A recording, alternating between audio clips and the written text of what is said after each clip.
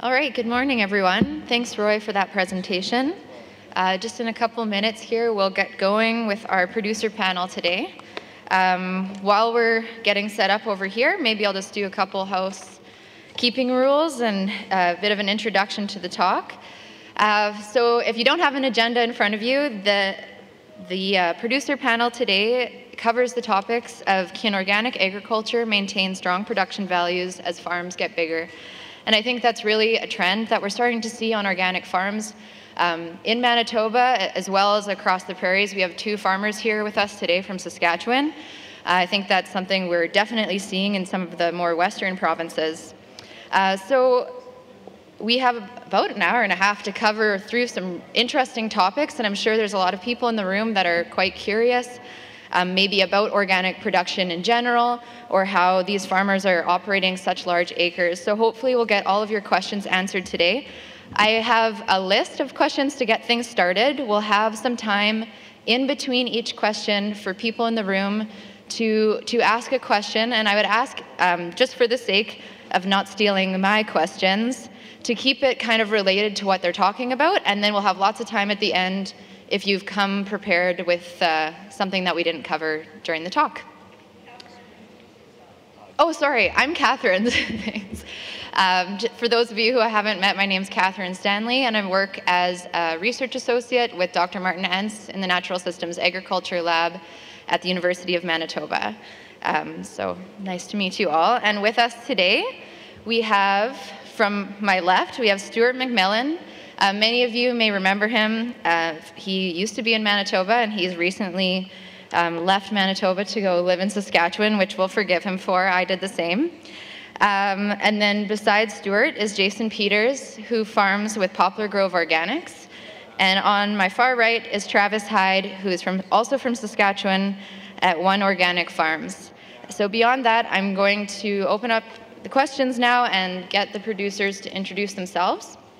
And so my first question is uh, if you three gentlemen, if you're ready, awesome, can briefly describe your operation and why you decided to transition to organic production. And Travis, since your slides are up, you can go first.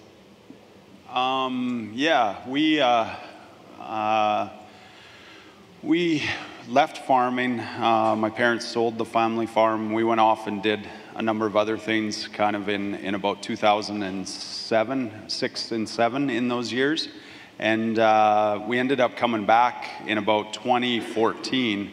And I mean, anyone who knows what's happened with costs of conventional agriculture uh, through that period um, knows that it's real hard to make the numbers work, especially when you're paying for everything. And uh, you know, we didn't have paid for equipment, we didn't have paid for land. Um, we didn't have a whole bunch of sons that could work on our farm to kind of help, you know, support a bunch of the costs. So we were kind of coming back into agriculture with uh, the highest probably cost of production. Um, we tried everything we knew from a conventional standpoint the first year, and we just the numbers just didn't make sense, nor did they work. And, and we had actually tried an organic experiment uh, that same year. So we began the registration of the paperwork um, on uh, a chunk of pasture land and uh, broke that up without the use of any um, uh, herbicides and whatnot. And uh, in 2015, that crop paid for, you know, essentially what we didn't earn on the conventional wheat. And, and uh, we knew there was something there kind of immediately. So it was really a business case. Um, and my, my wife is from um, the Duncan sort of on Vancouver Island. And uh, she definitely has got a strong influence and another part of the reason why we've chosen to uh, move in the organic direction. And uh, we've had a lot of incredible debates through all of these years of change and transition. And we've been to a lot of different talks and we've heard a lot of different sides of this scenario. And we just real, really feel strong and passionate that you know, a big part of what we're to do on this earth is to show that there's a way to do it without the use of chemical and fertilizer. And that's kind of, you know, what, what's brought us to this point. And uh, we want to believe in and empower people. And uh, we're seeing just all these amazing economic development factors that seem to be happening from our leaky bucket that sort of the money falls in the community around us. So I think that's what we're most excited about is just change and the ability to grow clean and healthy food for people. And uh, that's what's brought us to this point.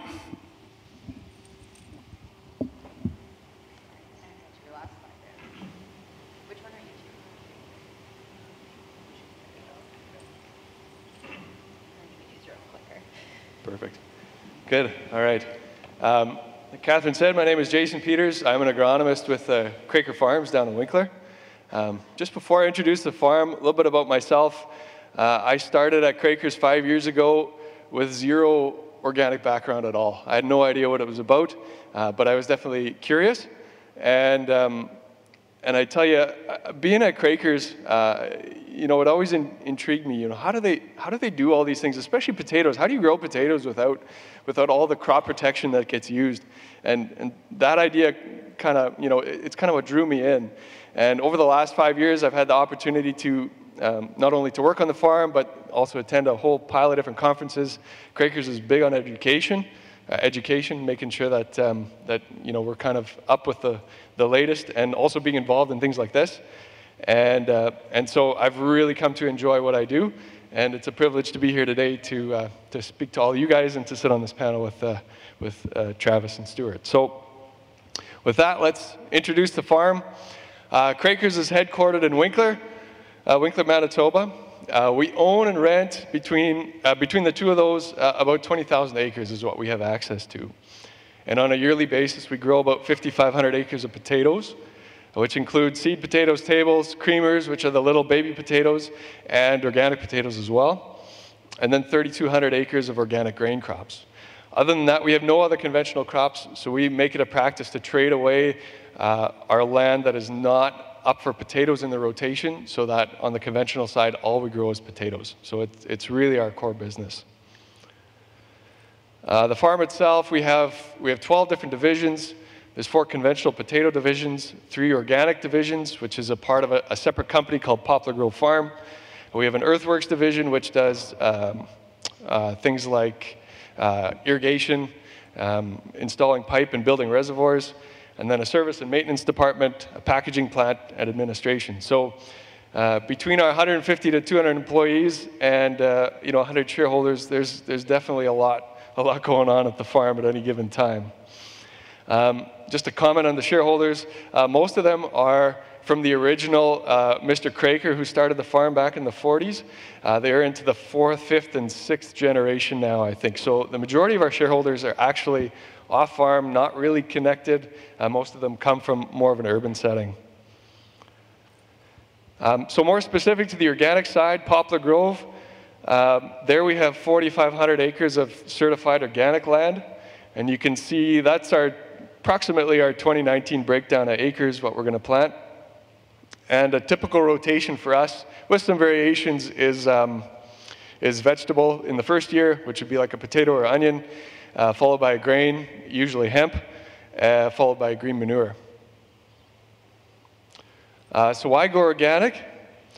Uh, they started this conversation back in the mid 90s when I was still in grade school. So I had to go back and ask Marv Dick, who's our kind of resident expert on organics, as to what were they thinking back then. And, uh, and as best as he could remember, we had a group of fourth generation shareholders at the time who were in their 20s and 30s, and they, they seemed to think that this organic thing was going somewhere. And so they brought the idea forward to the farm and said, hey, we want you to check this out. And the farm looked into it, and they, they saw a really good business opportunity when it came to potatoes. Uh, there wasn't a lot of organic spuds around at that time, and, um, and thought they could, uh, they could tap into something there. Um, so they started transitioning their first land in 1998. They started with 40 acres. And uh, the picture you see up there, that's actually the very first truckload of organic uh, reds that they ever harvested off the farm. Um, and they've slowly been growing. So, so their philosophy was let's, let's grow with the market. They could have gotten a lot bigger, a lot faster, but, uh, but decided to, to kind of grow with, with the potato market. And, and that's led us to where we are today. So we've got about, like I said before, about 4,500 acres or so. So.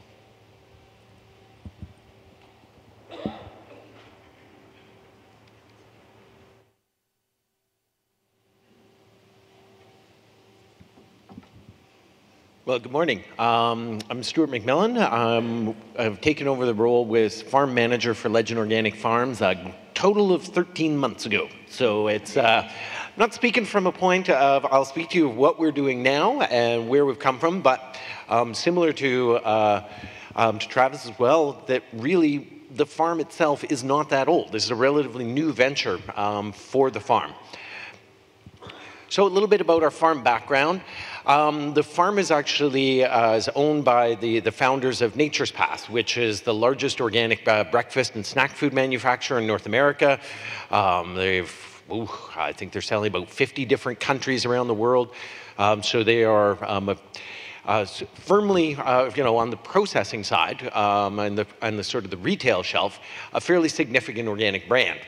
And uh, the founder of Nature's Path, uh, one of the founders of Nature's Path, Arran, had said that organic is not a passing fad. It is sweeping over the nation like a tidal wave. He said that in 1971. so, I think the tidal wave in 1971 was decidedly a little smaller than it is now, but that speaks to how long the company has been committed to organics. Um, there are very precious few organic companies or organic farms that are approaching their 50th anniversary, uh, but they are one of them. So I guess one of the what, one of the other things he had commented was that purchasing and cultivating organic farmland uh, really demonstrates their commitment to the future of the industry. One of the other uh, founders, the co-founder of this, uh, Ratna Stephens, uh, described in an article in Globe and Mail that people are my strength and my weakness. And I really like that uh, statement as it speaks to some of the challenges we've had as well at the farm level. But it, I guess the reason I included it because it really speaks a bit to nature's path and uh, their triple bottom line to be both socially, uh, socially responsible, environmentally sustainable, and financially viable. And we try to bring all of those three elements into the farm as well. And so um, certainly we've tried to strike that balance between profitability and sustainability and try to make those both fit in uh, to, into the farm. So really the, and I guess obviously the other part I was going to say is that when a big organic brand ends up stepping into the uh, farm world, uh, it definitely catches some notice. So this was a piece that the producer had did on the farm. A um, little more just specifically about the farm though. So right now we are around 31 quarters, so we're just under 5,000 acres. Um, but of that, we're really only around 3,500 acres cultivated, uh, given that we're on the shores of the, uh, of the Duck Mountains in a fairly region with a lot of hills and bluffs and, uh, and sloughs. So that remaining portion of our land um, is that 1,500 remains sort of between pasture, bush, and, and, and wetlands really growing a mix of cereals, oil seeds, and legumes that are typical for east central Saskatchewan. Um, you know, in 2018, we grew some oats, peas, uh, some, uh, some wheat, flax, alfalfa. You know, there's no exotic Ethiopian teff or Bolivian quinoa, just growing straightforward, you know, average crops for the region. And I guess we can probably speak a bit to some of the crop mix uh, later on in some of the other questions. But I guess just for point of reference, when I was looking to describe what we were doing, um, part of our land had been organic for a number of years. Uh, and with the owners of the company, it was not an option to not transition over the other land. So we uh, purchased another farm, transitioned it, started transitioning immediately. But the three year average really described what the previous organic producer was doing, and then the the other piece describes what we ended up doing last year. So um, really similar portion of cereals, similar portion of oil seeds, but where we really started to differ was in some of our management and related to soil building and trying to minimize fallow. Perfect. So, oh, thanks. Um, so now that you three have introduced yourselves, thank you for doing that. I'll jump into the next question, and then after that one, I promise we'll allow some time for, for you guys to ask questions. Um, so one of the things that we wanted to ask you, uh, what are some of the biggest challenges that your operation faces as a result of being larger than average scale? And so that kind of can cover anything from production, operational management, agronomy, whatever, wherever you want to go with that. So however you want to start, I'll leave it up to you. I didn't want to go. Oh, Uh, I didn't really want to go first on this one. I was curious to hear the others' uh, answer on this. When I kind of think to this, I mean, I would say it really, and, and, obviously this is probably a challenge for farms at a smaller scale as well, but it's sourcing adequate and capable staff. Um, absolutely is my, has been my greatest challenge so far. I hadn't really anticipated the scope of how difficult it is to get the right team members to get on the farm. Uh, and especially as a new farm, ensuring that we have the right amount, not, not too many, not too few, was a real challenge as well because there wasn't a good example um, of prior years to kind of base our decisions on. And I didn't want to, as a farm manager, overhire and then end up inflating our wage side. But I also ended up in the point where we were probably short staff, and that impacted, you know, a lot of what's capable.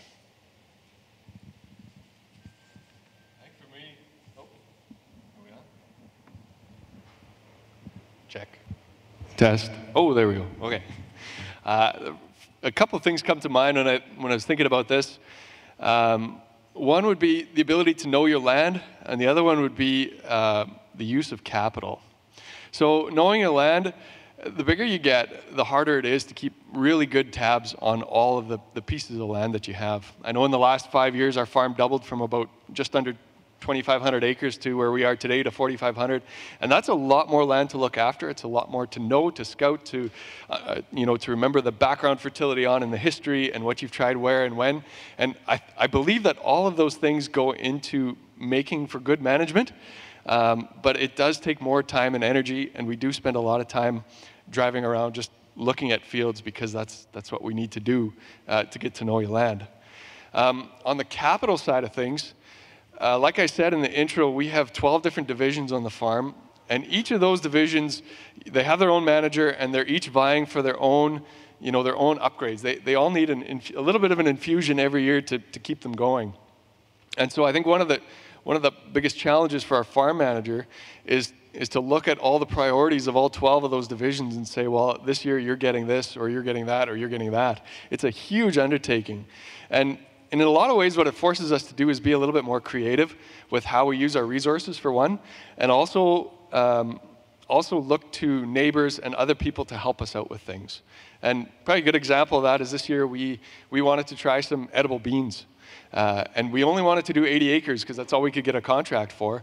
But we're not going to go out and buy a bean combine, a windrower, a cutter, and all these other pieces that we need to get these things going. And so, so we thought, well, who could we, who could we rope into, you know, getting, us, getting to come to our farm to help us out with some of those things? So, so we found a couple of neighbors that were willing to, you know, kind of give us a day out of their busy schedule and, and come and, and work for us for a day.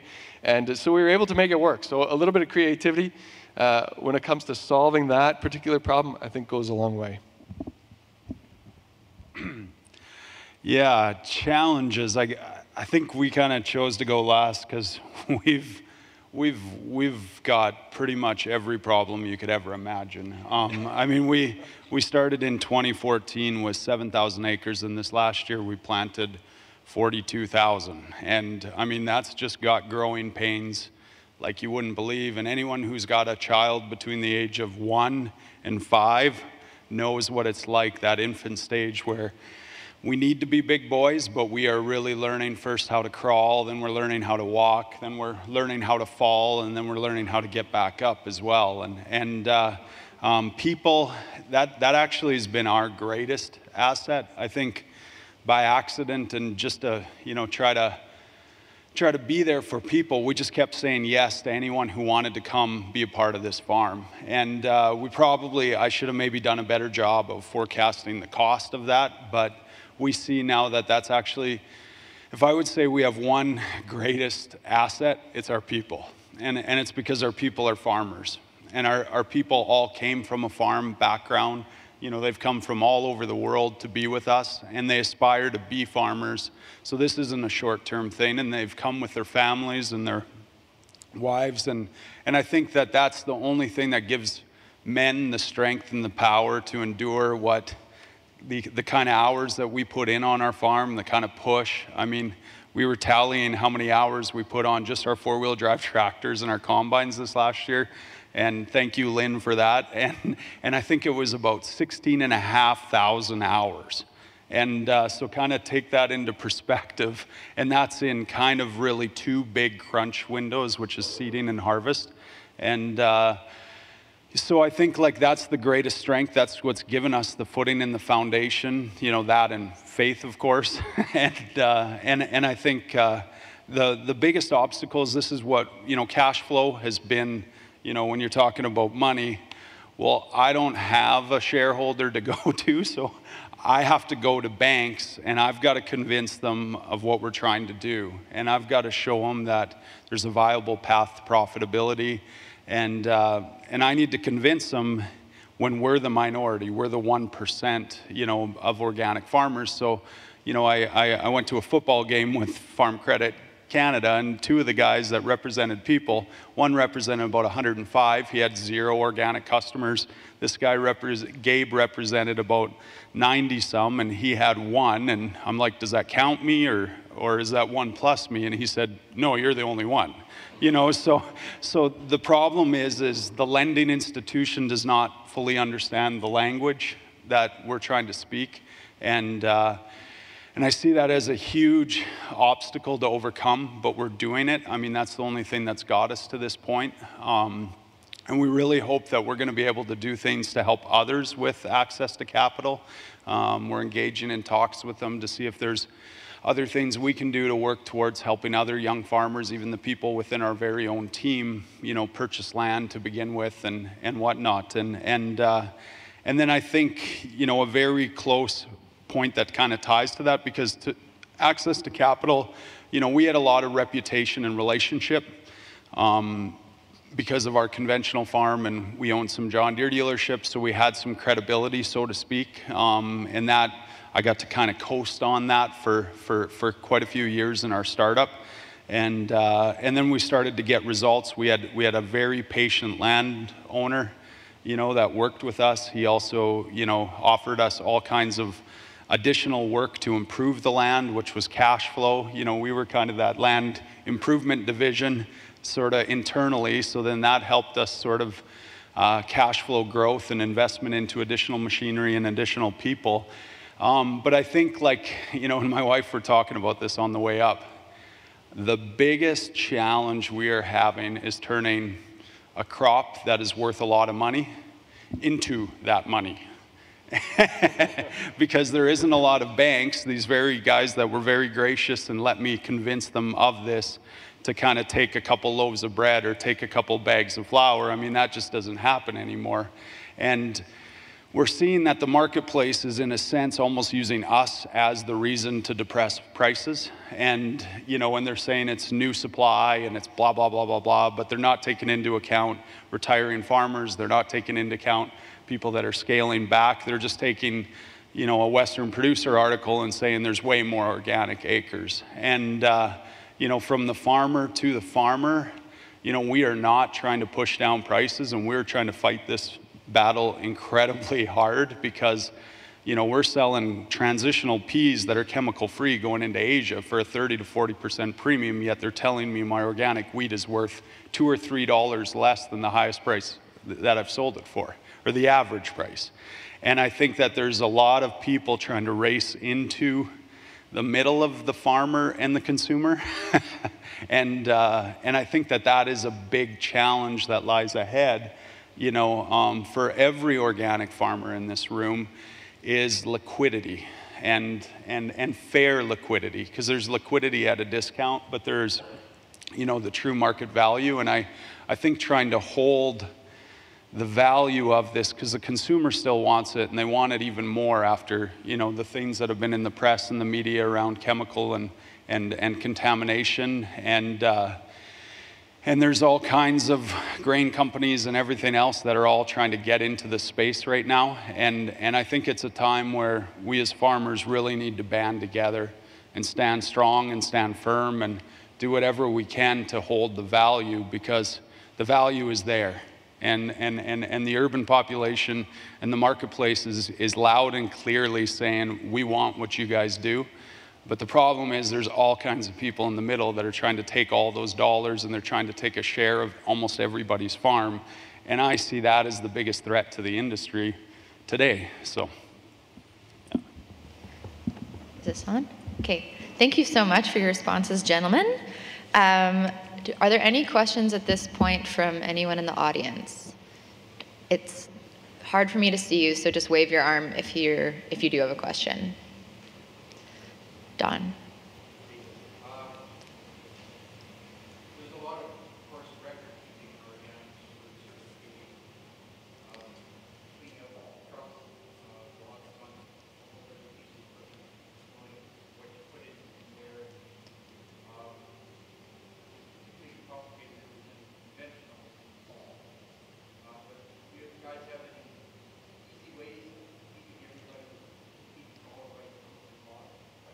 I'm just going to repeat that in case some people couldn't hear it. So the question was asking about how on large acres or even how this applies to farms of all scales, if you guys have any tips or tricks for record keeping um, for trucks and bins and various things like that, shipments. Um, well, Jolene knows what we do with record keeping. um, yeah, that's the paperwork, you know, everyone says it's incredibly intimidating initially when you're outside of it. And it is incredibly intimidating and challenging for a guy like me. Like, I'm just not the paperwork guy. And, uh, and we've, uh, I think like the biggest thing we've realized is to know kind of what's going on in the field and to track that information. We've, we've adopted simple solutions like WhatsApp. It's, it's an application that you can create all these different pages, whether it's harvesting, whether it's the grain bin log, whether it's, you know, um, our land improvement work. So essentially, kind of real time, the guys are logging information. Jolene, you know, she's at home, she's logging the information on a spreadsheet. You know, so we're kind of continuously tra- tracking what's happening, what's going in and out of the farmyard. Um, and we're discovering, I mean, that was a big reason too why we decided I think it was two years ago or three years ago, you know, when you talk about equipment and cleaning it and everything, that's why we just went all in. You know, we, we, we, we decided kind of last minute to just, we're not going to have conventional and we're not going to have organic and we're not going to have to clean equipment out between and try to plan all that because that just, that was an absolute you know, there's nothing that drove me crazier than it being 30 degrees, sunny, chance of rain, and we're washing equipment out, you know, to get the combines moving to the next, you know, piece of organic land. And, uh, and we just kind of said, too, I mean, if we truly believe in this, we got to go all in, and it's going to make our life simpler and easier. I don't know if I would recommend transitioning everything at once. That was incredibly financially challenging and painful, but we're kind of coming through that right now. I mean, this last crop year, we were 50% was registered organic. This following year, we're up to 75. Um, so that really helps the revenues and the ability to cash flow and pay the bills. Um, but, but the documentation piece, um, and we're talking to a group called AgriSecure. I mean, we've been courted by almost every granular and all these farm logs and we've been trying to figure out, you know, a system that really works and meshes with organic. And uh, of all of them, this AgriSecure seems, you know, they're a group out of the U.S. Um, so we're looking at potentially working with them. They want an outrageous number per acre, but we're getting them way down to kind of what's mm-hmm. fair. And uh, yeah, because I think information is going to be incredibly important in the future. And I think it's, it's, a, it's a place that uh, the other side of the industry is going to try to attack to a greater degree in the future. Um, so I think knowing what's happening and having as detailed records as possible, I think is going to be a strength to this entire industry. You know, so we are definitely. I mean, we'll keep you posted with what we're finding. That's working right, right well right now. But a WhatsApp application with a whole bunch of more or less sort of processes tied to a great person entering this data, you know, on a spreadsheet. That's kind of where we're at today. Thanks. Do either of you two have anything you'd like to add?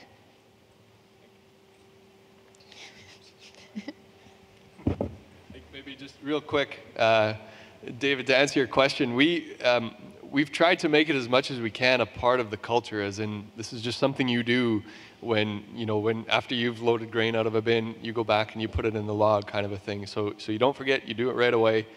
Um, it is extra work, definitely, and it takes some getting used to, but it's one of those things you just, uh, you just got to put your head down and do it. I guess when I think to my role uh, in my many years working as an organic inspector, I was probably one of the things I would be, my little quotes I would say is, I don't care if you write it down on a grease covered notebook that you keep in your pocket or you enter it into a complex app on your phone. As long as there is a record there that achieves the end goal, knock yourself out. Find a system that suits you because if you try to impose another system on you or your farm operation, it's never going to work. So uh, I think it has to be adapted to the people you have working with you. Um, and creating that culture obviously is, um, is an important part. And I, I guess I, I, sort of laughed at your comment because it was the, uh, one, of, one of our blowouts with staffing this year was one of my employees throwing essentially a tantrum, cuffing me upside of the head, and swearing up and down that he couldn't be a bleeping bleeping secretary. So He's not with us anymore. Uh, no, yeah. So again, the, the, the, guy I found to replace him was awesome, and he, you know, and he's as he said, well, this is just what I do. Of course, I'm going to write down when I serviced which machine, when I went into which field, and try and jot down notes. That's what I do, and if that's what you need me to do, great, no problem. I'm on the clock. You're paying me, so yes, you you just need to do it. Thank you. And also, I should mention that um, I guess it was almost a year ago now. Stuart wrote a really good article for a newsletter that would be on the Manitoba Organic Alliance website, which was Stuart's five tips for record keeping. So you can get more than the tips he gave you if you go check out that article. Actually, I think it was. There might have even been a picture of it.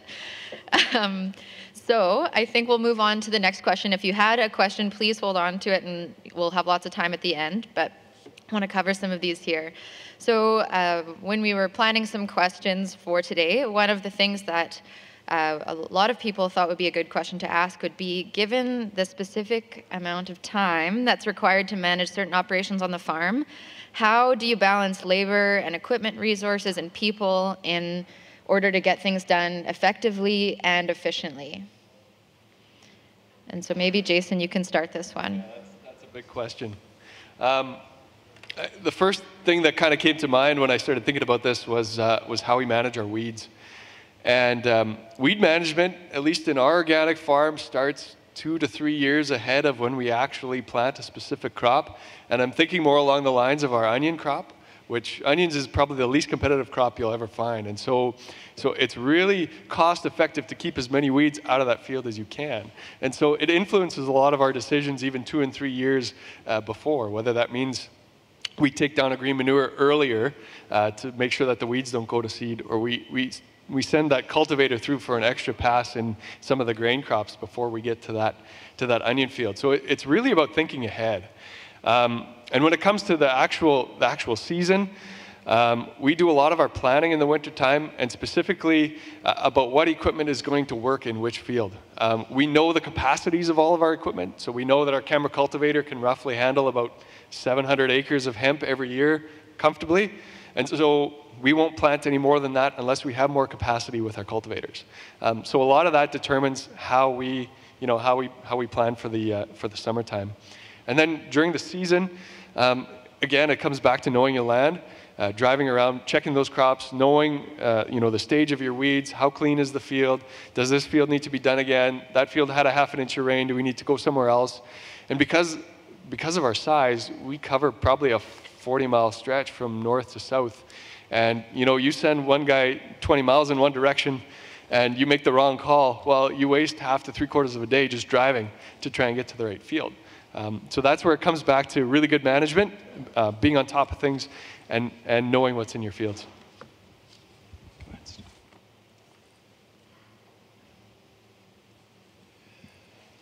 Well, I would say this definitely it's an ongoing learning process, and uh, looking forward to year number two. Yeah, yeah. Um, so I'm I guess uh, really what we're trying to, uh, definitely trying to improve the execution in the second year. So I guess one of, thinking back to some of the challenges we faced, uh, I would see this as using some of the same strategies farms uh, would use of a smaller acreage base, ensuring that all of our equipment is field ready over the winter, that we are gone through everything, we've made sure all of those repairs are in place. Um, really, I guess I I underestimated the value of having all of the sort of seed right on farm. I was like, ah, you know, we can just take a trip down to the seed uh, seed plant. It's not that far. No, I want to have all the seed, all the inputs, everything there, ready to roll. As soon as that snow melts, we're just ready to execute. I, I really, when I think of this, um, it is some of the same strategies and challenges I think farms of any scale uh, really, really will face, and they're solved by those same ways. Trying to be on top of the uh, uh, of the land base, be on top of your equipment, getting to know it, um, and some of the things that Jason mentioned. Um, the biggest, I guess, the biggest challenge is, you know, I, um, my dad moved from southern Manitoba to uh, Saskatchewan. He grew up in Gretna, and in 1979 is when he started his farm in Saskatchewan. And uh, he knew the importance of timing and to get in early, and, and, and, and you need proper equipment to be able to do that. And, and, and you need, I mean, my grandpa tells me stories that he'd come back to the field and find dad with the unload auger on, slunched over the steering wheel of, of the combine because time was the only advantage he had um, when he was trying to build the farm. And we've, uh, we've definitely fought with weather, you know, sort of the first years, you know, since we started in 2014, we've had a lot of crazy falls, early, you know, snow. We've had late rains. We've had nine inches of rain in a weekend. We've had, we've had a lot of challenging sort of uh, seasons, but I almost kind of feel like that's going to be a bit of the norm going forward. Um, so we've, and, and, and it's just, how do you balance you know, again, I go back to the amazing people we have. Well, they all have families. so, you know, like I'm not seeing my daughters, they're not seeing their sons and daughters um, for very long periods of time. And we've, you know, growing up, we always took Sundays off, you know, the day of rest. And uh, I fought that for the first year or two because I'm like, we're a startup. So I justified all these reasons why, you know, we had to be able to push, especially because there was a chance of rain on Monday, so let's just work Sunday. and uh, what we've really kind of come back to is we need to take Sundays off. I mean, we, we work incredibly hard the other six days of the week. And I think everybody needs, you know, time to just unplug, you know, even if it's for a day, you know, and be with family and really sort of honor what's truly important to kind of have the energy to endure for the next six six days of the week. So that's that's been a practice to really not burn out our people even though i still think we burn out our people you know? Um, but everyone again being farmers they understand that you know you know we're up against the weather and we can't control that. So so we've, uh, it's back to kind of, you know, the management thing is what the guys have really been talking about. And, and you know, I've been learning.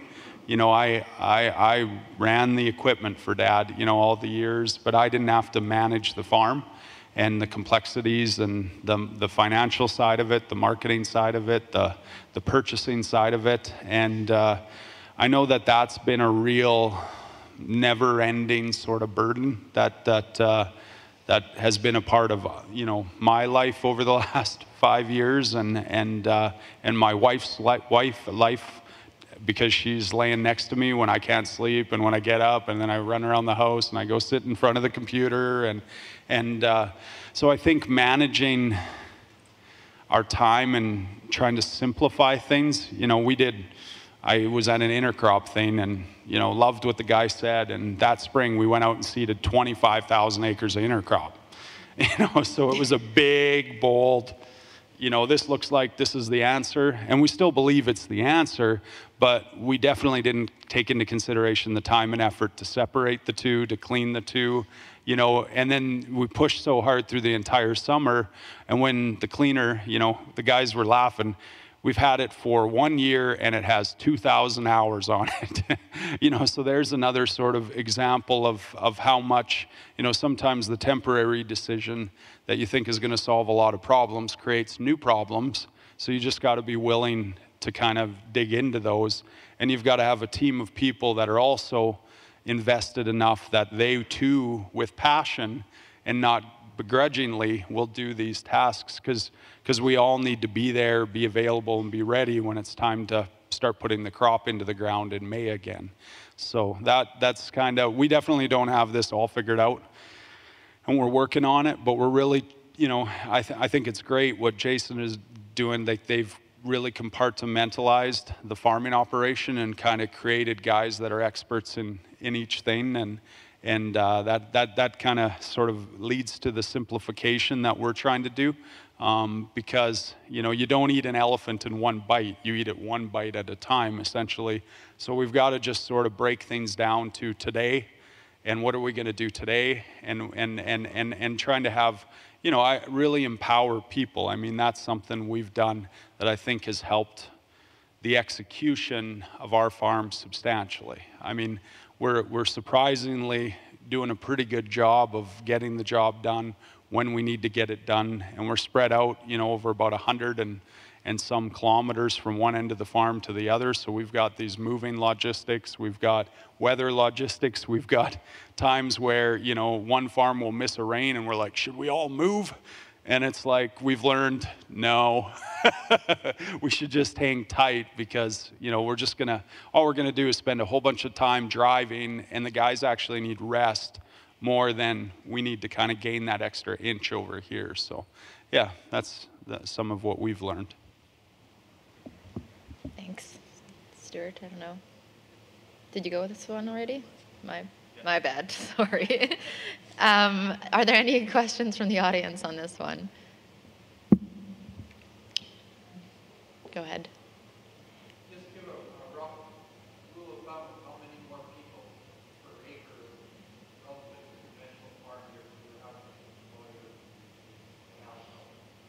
So the question was how many people approximately additional per acre in comparison to a conventional farm would you need to get the job done? That's a good question. If, if I had to guess, just based on what I've seen, and maybe our situation's a bit unique because we have, we have vegetables and other specialty grains, but, but I would say that it's probably close to, to double.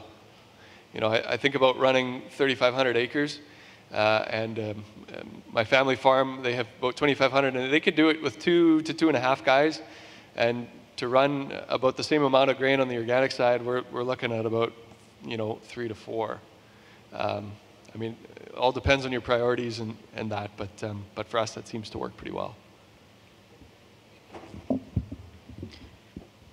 don't know if you wanted to. Yeah, yeah, yeah. we're uh, same thing. I mean, we uh, we're up to 30 something people kind of when we hit fall and and uh, harvest and and uh, and what we're trying to do actually is we're trying to actually figure out how can we better manage processes, so to speak. We're we're trying to almost kind of look at this as a, a linear. Okay, this one week period, this one week period, and you know who could move to what, and and we're really trying to. We did a lot of juggling you know, the guys would have to jump out of this machine and into that, and then that guy jumps into his, and then they don't look after it the same way, and then it creates other friction.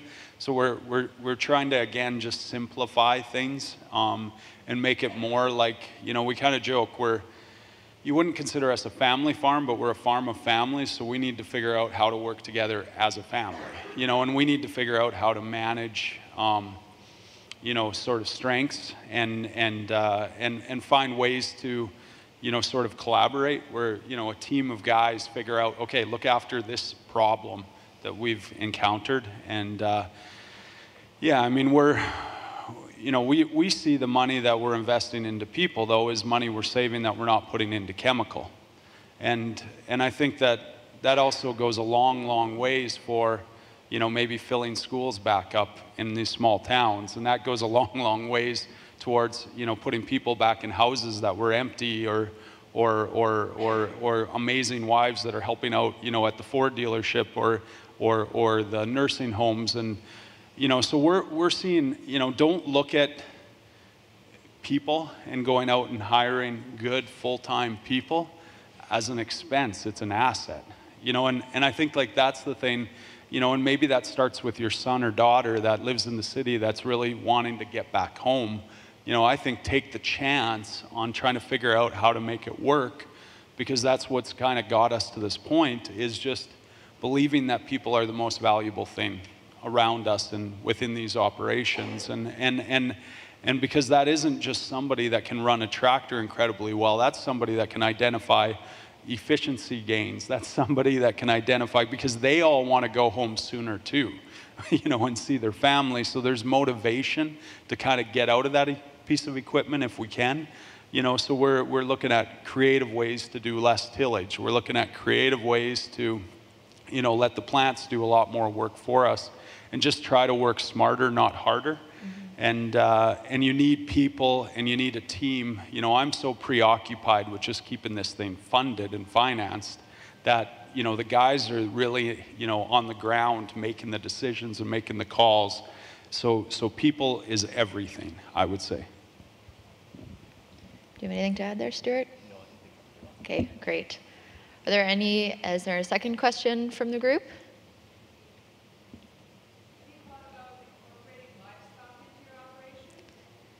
Uh, the question was about uh, the possibility of livestock incorporation. Stuart, I think you should start this one. I thought about it. but that's about where we're at. Uh, we, uh, we do have, we're renting out some pastures over to uh, some, some neighboring cattle producers. And, and I do think, I mean, obviously, when you look towards uh, a lot of the visionary ideas that are changing agriculture right now, a lot of this livestock integration really comes into play the challenge will be how one does that at scale, uh, you know, with acres. So I do believe it's possible, but I think what I, the way I saw it fitting and the way I've kind of talked with ownership about it, don't add that onto my plate. Don't add, but what we need to do is collaborate and you know and to, to find, try and i see a real opportunity where for say a young producer who loves cattle but doesn't have access to the acres well i got the acres I've got, you know, and I do have, you know, where the farm does have some financial backing. So if we need to invest into getting up some perimeter fences, yeah, we could do that. Absolutely. I mean, we've got, you know, some of the heavy equipment. If we need to clear some forest, we could do that. We've, so what I see as an opportunity is finding a young person to partner with who's really keen and excited about cattle and really needs that acreage base. Well, now we can create another sort of enterprise, create another, you know, value, allow an opportunity for somebody else in the community. Um, but right now it sort of remains as the conceptual idea rather than executed idea. But I definitely see the value in it. It's just I'm not smart enough to take on the cows. We had 50 sheep on our farm this year. Uh, it's not a whole lot. It was enough to graze down about six or seven acres. Uh, but it was a start. For us, it was something to look into. It was a bit of an experiment. And uh, we saw the value in it, um, at least for myself. It was, um, it was kind of an economic thing and wanted to figure it out. But we spent a lot of time and energy working down our green manures, working it into the field, and then replanting something to let it regrow again, kind of a thing. And wondered if, if maybe the sheep or cattle or something else would be a viable way to do exactly that. So you're, you're, you're grazing everything down, you're returning those nutrients to the soil in the form of manure, and, uh, and it doesn't cost us a tractor hour to do it. The complicated part is, you know, like you guys were saying, is the infrastructure, the fencing, um, and, and also the labor to, to be able to move, you know, move these animals when you need them. And so the deal I had worked out, this was one of our, our neighbors that we were working with, uh, was that you know what, you can come graze whatever you want on this particular piece of land, uh, but the only interaction I want with the sheep is to be able to drive by and bring my kids to see them. that's, about as close as I want to get. And so he was okay with that because it was free, basically free feed for him for his, for his use over the summer. And uh, it worked out pretty well.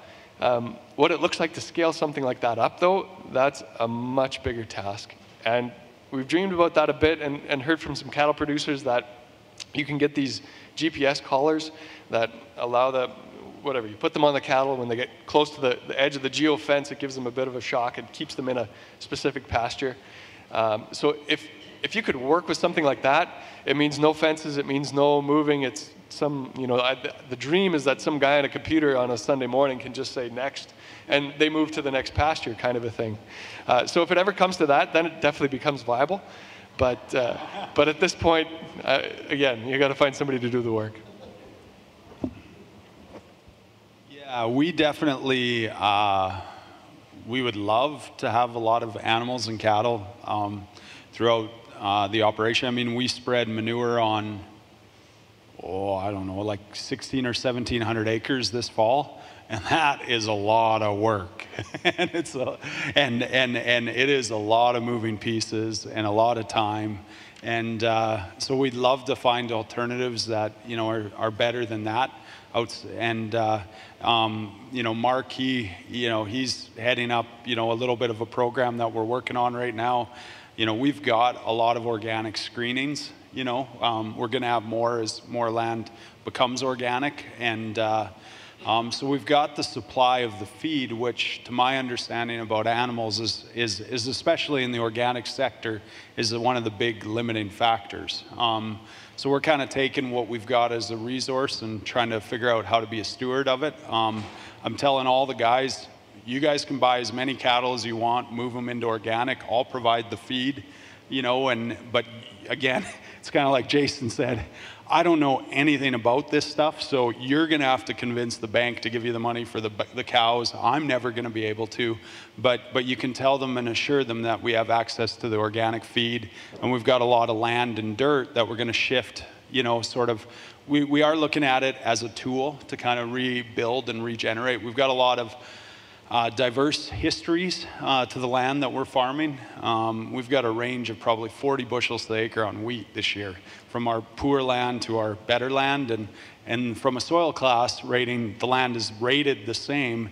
It's just been treated very differently from an organic matter perspective. And in the, these years that we've had leaner moisture, we're really seeing the difference uh, that organic matter plays in the potential of a crop. And uh, um, so we are, you know, looking at some strong legume and alfalfa-based, you know, rotations on some of this dirt, and, and then that's going to give us access to probably a cut of feed. We'll want to leave the other cut out every year. Um, and uh, um, my wife and Jolene are actually working on a chicken and turkey project, but we're running into, this is crazy, but the bureaucracy around, what do they call it? What's quota? Oh, yeah. Like, I mean, there's people like crazy that want pasture raised organic birds, you know, for meat um, and turkeys. And uh, we've got the feed to do a lot of them. Um, but we're running into just market protectionism. And, uh, and, uh, and then there's the whole conventional versus organic and all of that as well, which creates even more interesting conversations that my wife has been privy to. So um, we, we love what the manure could do for us, um, but we know that it takes a lot of skilled people that really understand animals to really make this work and make this fly. Um, and, the, and we're doing it, you know, from a micro perspective. I mean, that's the way we're focusing on it. We're just, we're going to start small, and we're going to just try to eat ourselves out of our own feed. And if we can accomplish that, and if the market will support us you know, in purchasing this pasture raised organic meat, you know, we're definitely going to find ways to do more of it. And if any of you have got a big passion to want to turn some of your animals organic, we should talk because we could probably swap, you know, something feed and, and even just take a share of whatever that animal becomes worth in the future. I, I think it's collaboration that's going to help us farmers as a whole, you know, sort of elevate our, our future potential. So. Great, thank you. Um, I think we have a sec for one more question on that, if anybody has something they'd like to add. Okay, maybe I'll just ask one quick because it's something that we've been talking a lot about at work, and Travis kind of touched on it. Um, obviously, it's a very complex question, so you don't need to get into it too much, but I think that the way that things have been going the last couple years with the weather, the one thing that I've noticed is we haven't really had long stretches of rain. So, not so much from the production standpoint, but how do you manage avoiding burnout and not having weather like forcing you to take a break and forcing you to not go out into the field and do stuff? So, have you have you experienced burnout, or how do you make sure you or your staff that you're managing aren't getting burnt out during the season?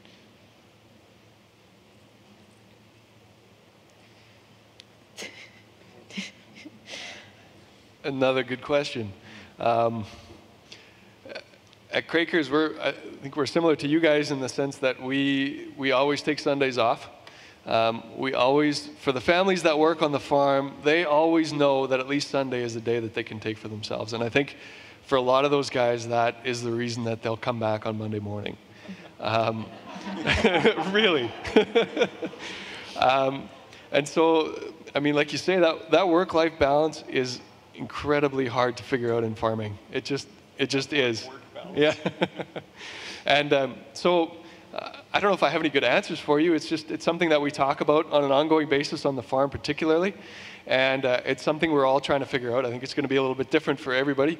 We've we've kind of found that the the young single guys that are in their early 20s that don't have a family to go home to, they love to be there till eight or nine or ten at night, and the, you know the guys that have they have three young kids at home, can't wait to get home by supper, kind of a thing. And so so being a bit flexible in management as far as giving people hours when they need it uh, can go a long way.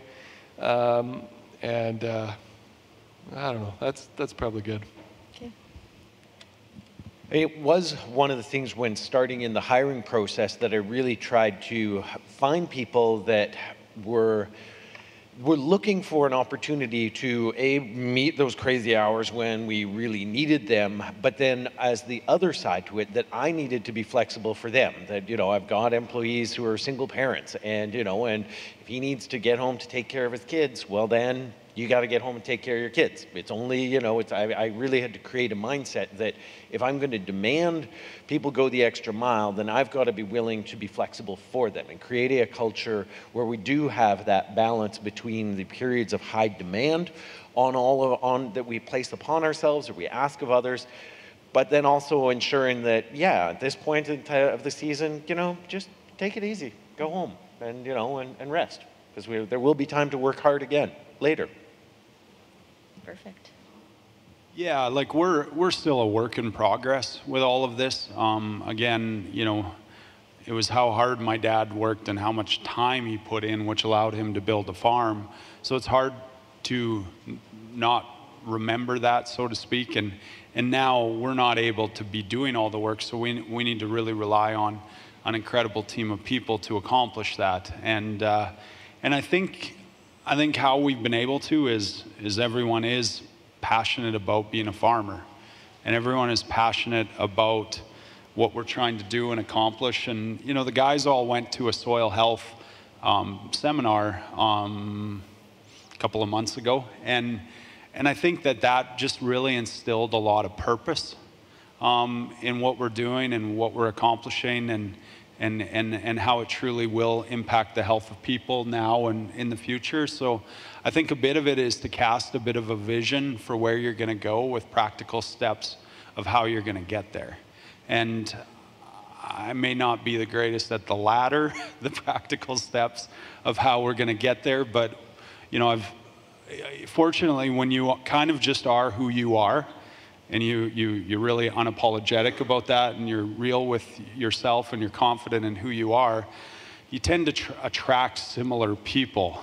I've found, you know, when you don't force hire people, when you're not, you know, just trying to fill a position. I mean, we never ever view anything like that. We're, we, we just want, you know, similar and like-minded people. And, uh, and it's amazing actually how unanimous sort of the vote is that we push hard and, and how, how sacrificial people are willing to be when they believe there's a bigger purpose to what they're doing. And, and uh, you know, we're, we're just, you know, so thankful for that. And we give lots of, you know, we've got pretty tight parameters around seeding and harvest. You know, again, that Sunday is a non-negotiable, so everyone knows and can anticipate for that. And I think that it's just that, that, that sort of like, you know, it's something to look forward to, you know, at the end of the week. And, and I know as a young kid on the farm, like we loved that and we got into all kinds of trouble the night before that day off you know and and and and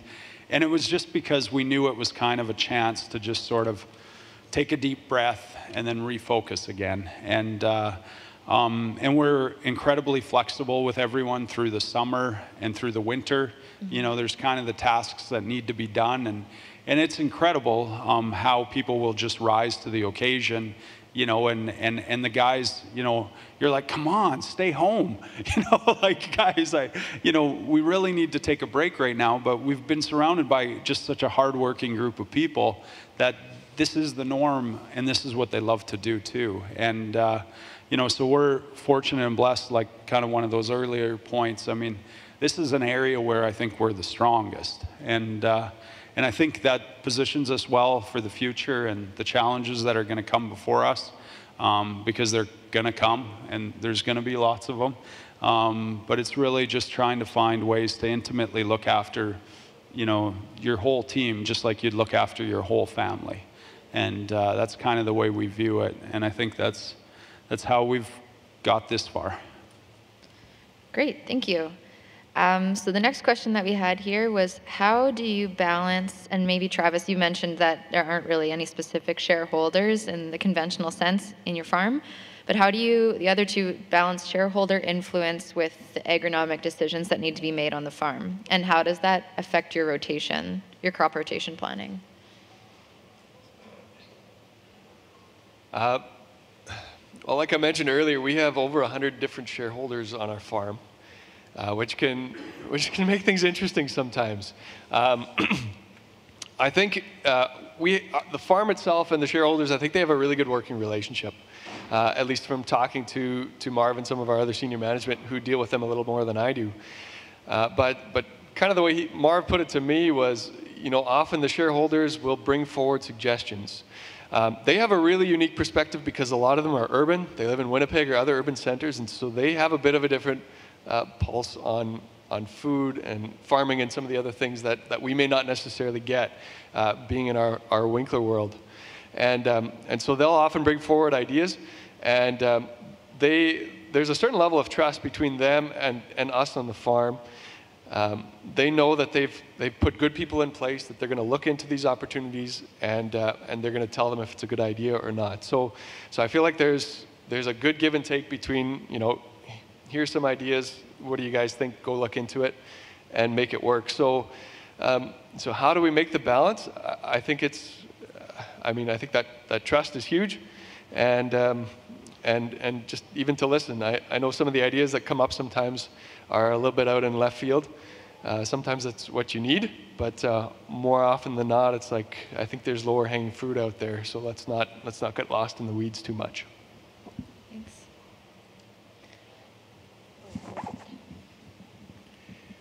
So I guess for our farm, we technically don't have shareholders. Uh, we're just actually, it's a family ownership. But the family has a lot of those same questions that any shareholders are going to have who are not on the farm and not making those day-to-day uh, decisions. What's the net profit of the farm? What's the long-term sustainability of those profits? What's the return on investment? But I, am really thankful that they also have a whole nother level of expectations and influence that relates back to you know sustainability at a regional and global level. Uh, how do we achieve sort of the three pillars that I referenced at the start of the talk between you know being socially, environmentally, and financially viable?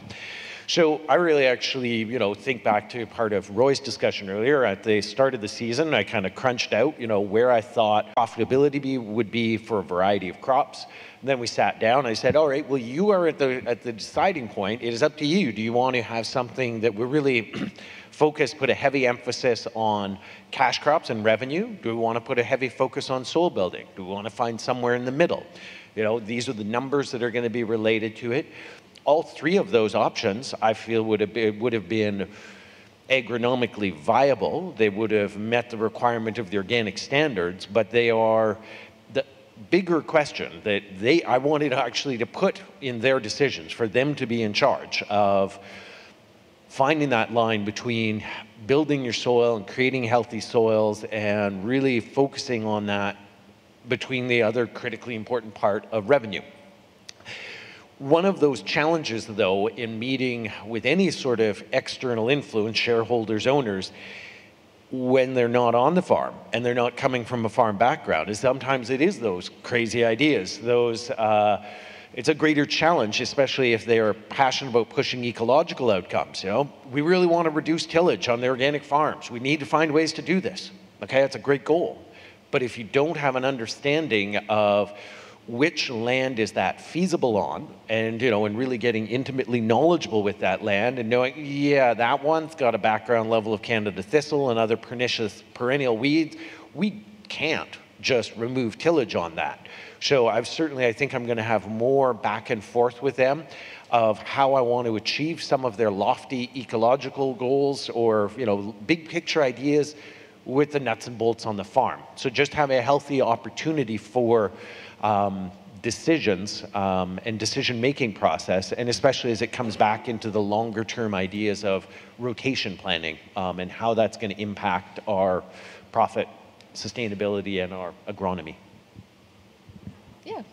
And yeah, like we uh, we don't have um, direct, you know, I guess shareholder influence, so to speak, um, but we definitely have big stakeholders. Um, I think you know, um, the group of people that are a part of our farm, again, we go back to people. I mean, we're, we're trying to create and craft, you know, ways of buying land together, for instance, you know, and, and, and, and to be able to then farm and find ways to participate in the risk. And we're trying to figure out what that looks like during transition phases, because most land that we acquire is going to require a 36 month transition window, which is definitely, definitely, we're finding ways to, you know, break even, you know, but it's hard to find a lot of profitability in that. So we're working on, you know, that scenario essentially to expand our ownership um, outside of our, our family, so to speak, into, you know, to our extended family. Um, a major, I mean, we just renegotiated our land for the next seven years. And, you know, that's a 27,000 acre parcel of land. And, you know, Robert's been a major stakeholder in our growth and our ability to be here and be present. Um, and, uh, and that's, you know, that's an incredibly, you know, sort of important relationship. And, uh, you know, and, and, and he's been incredibly patient with us as well through all of this. Um, you know, our machinery is another major relationship that we're looking at, you know, new ways of exploring machinery ownership and, and, and, uh, and you know, sort of strategies to almost rather than own your machinery and rent your land, you know, we should be renting our machinery and owning the land, you know, putting your debt and, and, and towards an appreciating asset, and then trying to just, you know, pay per use essentially uh, the equipment on the farm. Um, and that's back to just addressing capital needs. You know, we've, we've, we've got, you know, probably $15 million worth of equipment, and, and a lot of it's used, you know, so that's not even, if we replace that thing at new value, it would probably be 25 million. And uh, um, so we've, and, and, and the fortunate thing is, is we've had to almost create a business strategy that, you know, works with our worst case scenario. And, uh, and, and, and, and I just would really, encourage everyone to really try to do that. You know, if you know you're guaranteed X bushels per acre, you know, that's what your insurance coverage is. Don't look past that, you know, because we've had really great success with uh, lenders under promising, you know, and, uh, and just being real and realistic essentially with all of the, the people and partners, especially if you're a conventional farmer that's thinking about going organic or, uh, or you're an organic farmer that wants to acquire some land, you know, I think, you know, those institutions become your new strategic, you know, I, I wouldn't say shareholder, but stakeholder, you know, sort of in the success of your operation. So, you know, build a relationship, and even if you don't need it now, you do need to start building that relationship now, and that's that's that's been, I think, a lot of what's helped us. And and what we're really finding too is just simpler, simpler, simpler. You know, the, the simpler we can, you know, crop plan we can make, the easier it is to convince the lender that we are going to get and obtain that value for that crop. And, and, and, uh, and I think it also, you know, it's just easier on the entire team too, is, is, is lowering layers of complexity and really try to make your experiments a little smaller. I mean, that's coming from complete experience here, you know, in, and we kind of went all in on things and, and we just had a lot of stuff to learn. So I think that keeps your partners, you know, more um, aligned too, because they, they just, some change is tough for people, you know, um, and, and I think these new ideas have to gradually be brought to the table. Great, thank you. Um, maybe I'll just ask my last question so we have some time to open it up to general questions. Um, my last question was Do you three think that it's possible to farm at the scale that your company or your farm is currently operating at and stay true to the various principles of organic agriculture? And are you able to create any environmental benefits on your farm due to your scale that you might not have been able to otherwise? So, I would say early on in the organic uh, sort of uh, organic movement, the organic agricultural side, there was absolutely a rejection of scale. Uh, there was, a, you know, many early adopters are sort of uh, would be influenced by sort of E.F. Schumacher's uh, "small is beautiful," and some of those concepts would really come through, and you, you even still see it in part of Canada's organic standards uh, in the last revision, they made a limit that you could have no more than 10,000 laying hens as, a, as almost as a cap to what they saw, you know, perhaps what was going on in the States where you have some extremely large um, barns for even with organic layers in it. And really, when I was working as an inspector, I would go to like 200 different farms around Western Canada on the course of any given year. So I got a chance to see a variety of different farms. And I really started to realize that there was no correlation between the scale of the operation and how well they were meeting the organic standards and how much they were even exceeding the organic standards. And when I think of the question about laying hens, I remember inspecting a farm that had, you know, pushing 90,000 90, laying hens, which is very large for Canada. They were doing a fantastic fantastic jobs about animal husbandry, about humane, uh, humane husbandry, getting the birds out. And I think the reason they were able to do that was because they were so large. They could invest into the right technology. They could invest into going around and seeing how they actually made that work in other regions of the world. So by being large, it allowed them to go further and I think that there is some, uh, some benefit that can come through scale. For example, um, you know, when we like to into innovative ways of managing our green manures and trying to minimize, say, the frequency of tillage from a soil health perspective, the economics of us buying a 42 foot wide mower is very different because we're able to spread them over all those acres. It would be really different uh, for a farm with you know only three quarters versus those with 30. It, it really does change some of that ability to innovate when you've got the acreage. The other reason I think that scale comes into play for a large farm, and, and I, I am not bashing small farms that are doing things on a smaller scale by any means.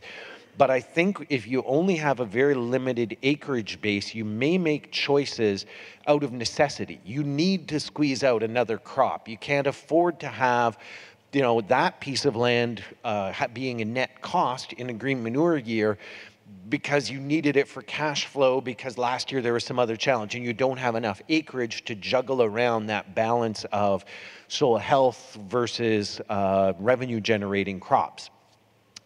So I think the when you have enough acres, it allows you to to to the question of things that you could not do at a um, that some of the environmental benefits that come with that scale is I can look at some of those poor performing areas and say, you know, actually, and now once we'll get, if I'm going to say, is it poor performing for more than one year, because that's all I've got to view on it, but say, all right, well, maybe that's a piece we try and partner with our local watershed organization and sow into native, uh, native grasses and native plants because I don't need to worry about that 20 acres. I got no obligation to keep that 20 acre chunk in. We've got enough acres to worry about. So I might as well take some of those poor acres out and make them of greater ecological value.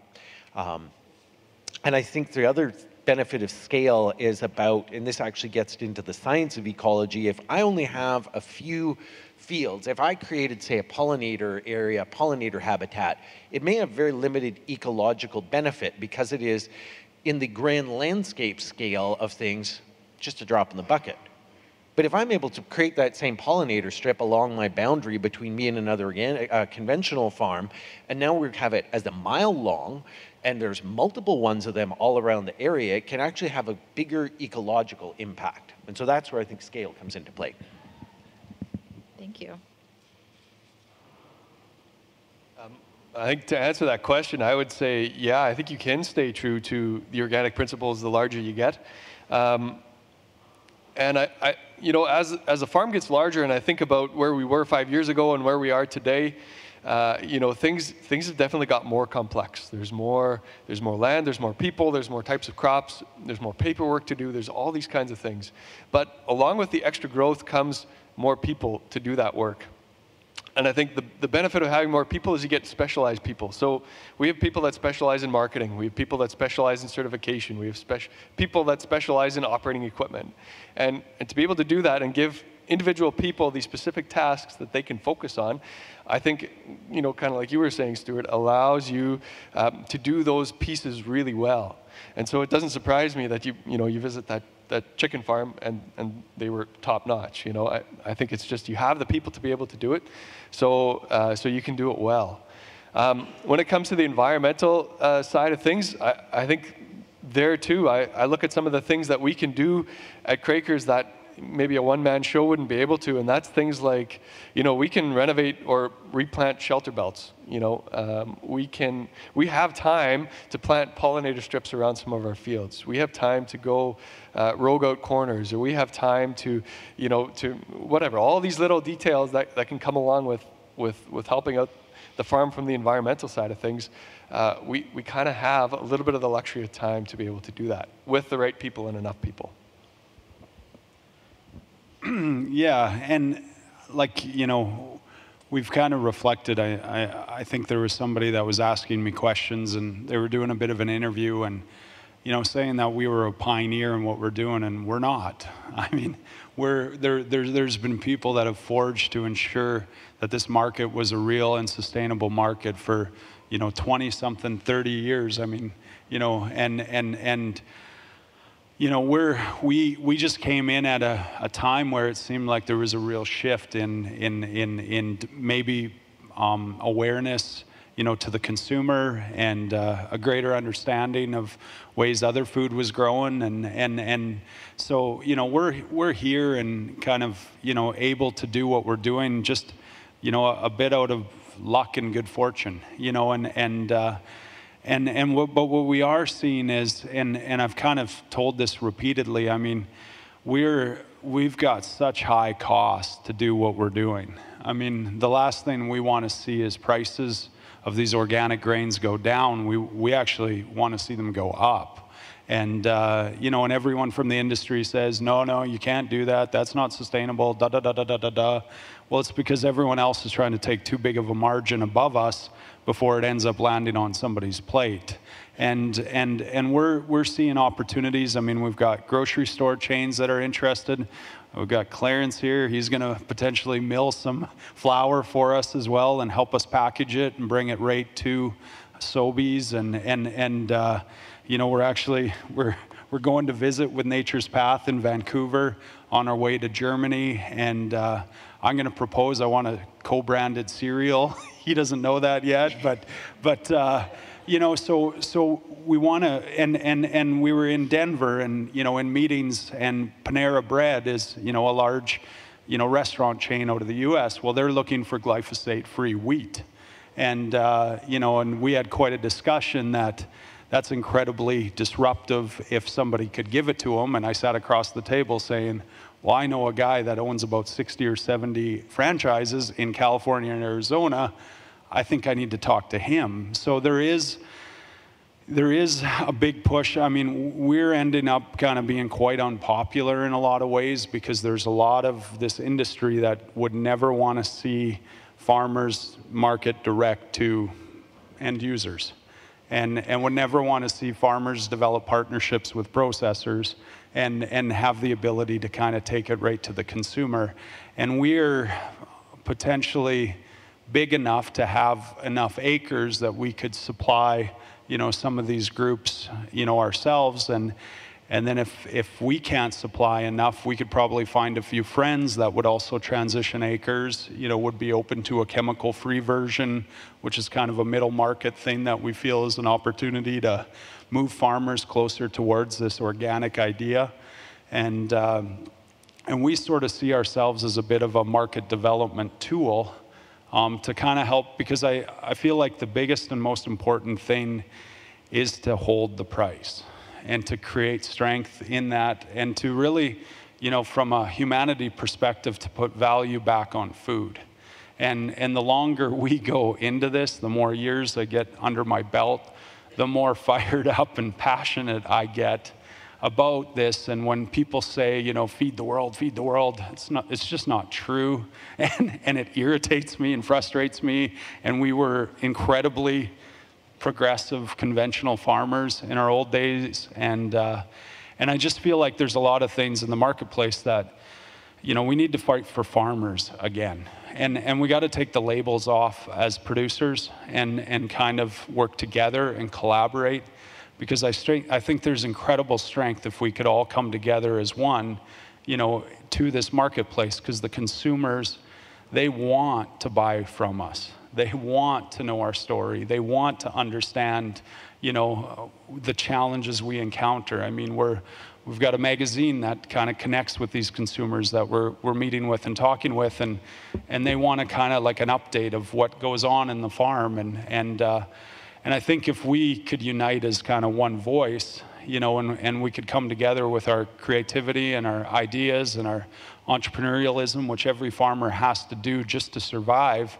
you know, I think there's an incredible story to be told. And, you know, that's maybe what we feel our place in this. We're not, we're not here to compete or be a threat or any of those things. We, we, we, we want to almost kind of protect the farmer from sometimes what I think the industry does to just, you know, I forget who the quote is from, um, but, it, but it's, you know, farmers are, uh, you know, the only ones that sell it or buy at retail, sell at wholesale, and pay the freight both ways. You know, and, and, and, and, and that's the honest to goodness truth. And, you know, maybe a bit of the root of what we're wanting to do is just to try to expose some of that and expose the value that farmers bring to humanity and to society and, and find ways to really value you guys more in partnership ideas that we feel might open up, you know, as we progress and evolve in what we're learning and, and our ability to fail forward just because we've got enough, you know, sort of, we can make some mistakes along the way and still kind of carry on. And, and we want to share that. And, and uh, we're actually planning a field day together with Nature's Path as well, you know, kind of this coming summer. That's, you know, you can poke around, see what we're doing, and we're gonna we're gonna show experiments. We're gonna everybody that has a fertilizer that's for organic is trying to sell it to us, and we're we're telling them that you got to give it to us first and show other people, you know, because because we're just afraid of the same thing happening in organic where, you know, you kind of just reverse mortgage away your entire farm $30 an acre at a time, and then pretty soon you're left taking the last 5%. And, and we're just trying to stop that from happening. So. Perfect, thank you. So we have a few minutes left here before Laura's talk, so I'd like to open it up if anybody has had a burning question that wasn't covered over the last hour and a bit. Oh, there you go.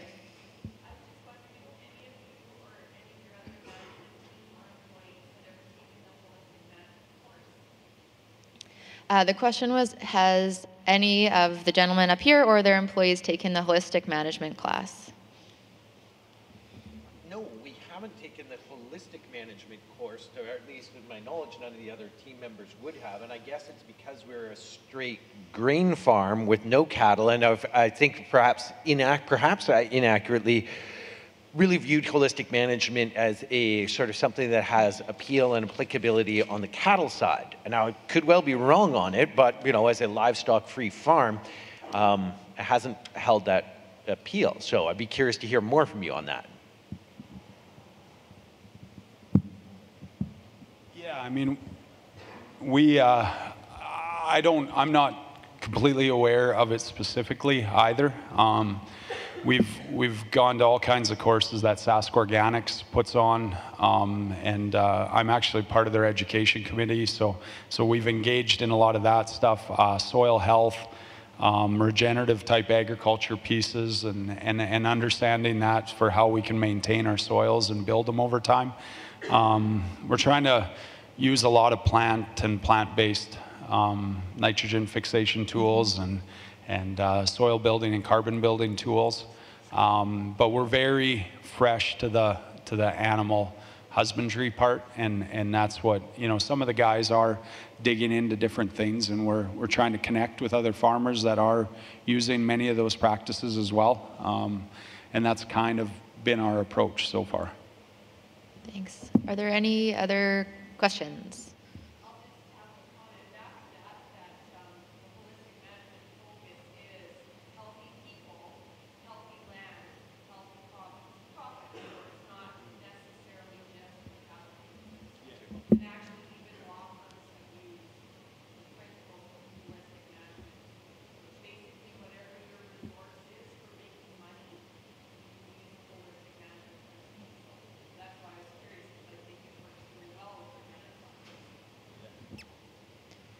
There was a one over here, I saw a hand. I think. Are there any more questions? Oh, yeah, just shout it out. I can't see you.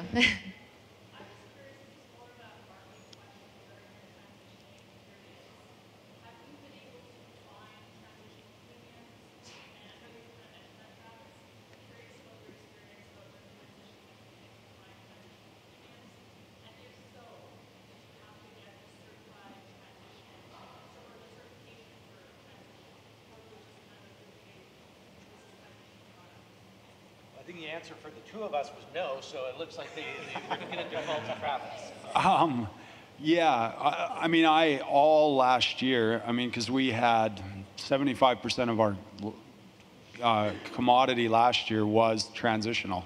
Um, so I pretty much beat down every door and argued with every grain buyer of why in the world there isn't a premium for you know grain grown without chemical because essentially we grow it with all the same um, uh, you know, practices and principles. Um, and uh, it's just that it has to be 36 months from last chemical or fertilizer banned substance application till the harvest date. Um, and uh, yeah, and, and, and it was interesting because last year, you know, I just, everyone said I was crazy. And then this year, before we even started harvesting our peas, I had about three or four companies saying, hey, do you have transitional peas? Because we think we can pay you more for them. And so, you know, fortunately, again, that stubborn, you know, Mennonite German background that I have seemed to have paid off last year.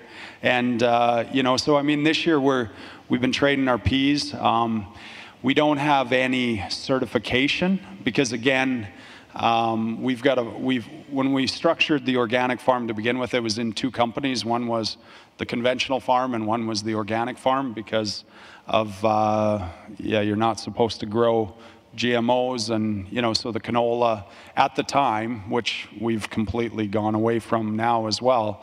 Um, but, uh, um, so we never technically had organic registration, so to speak, on our transitional acres. Um, and uh, but this year, you know, I guess how we got the premium is they just we sampled it, sent away and got residue testing, and uh, it was passing the glyphosate test, which is a hot topic after certain lawsuits and everything. Um, and uh, so we we actually we negotiated a pretty good premium for those peas and and it's a sizable market. I mean, it's not. I mean, we're we're loading 10 rail cars while I'm sitting here right now, you know, and that's been an ongoing thing that we've we've been doing. So it's a real market. I mean, I.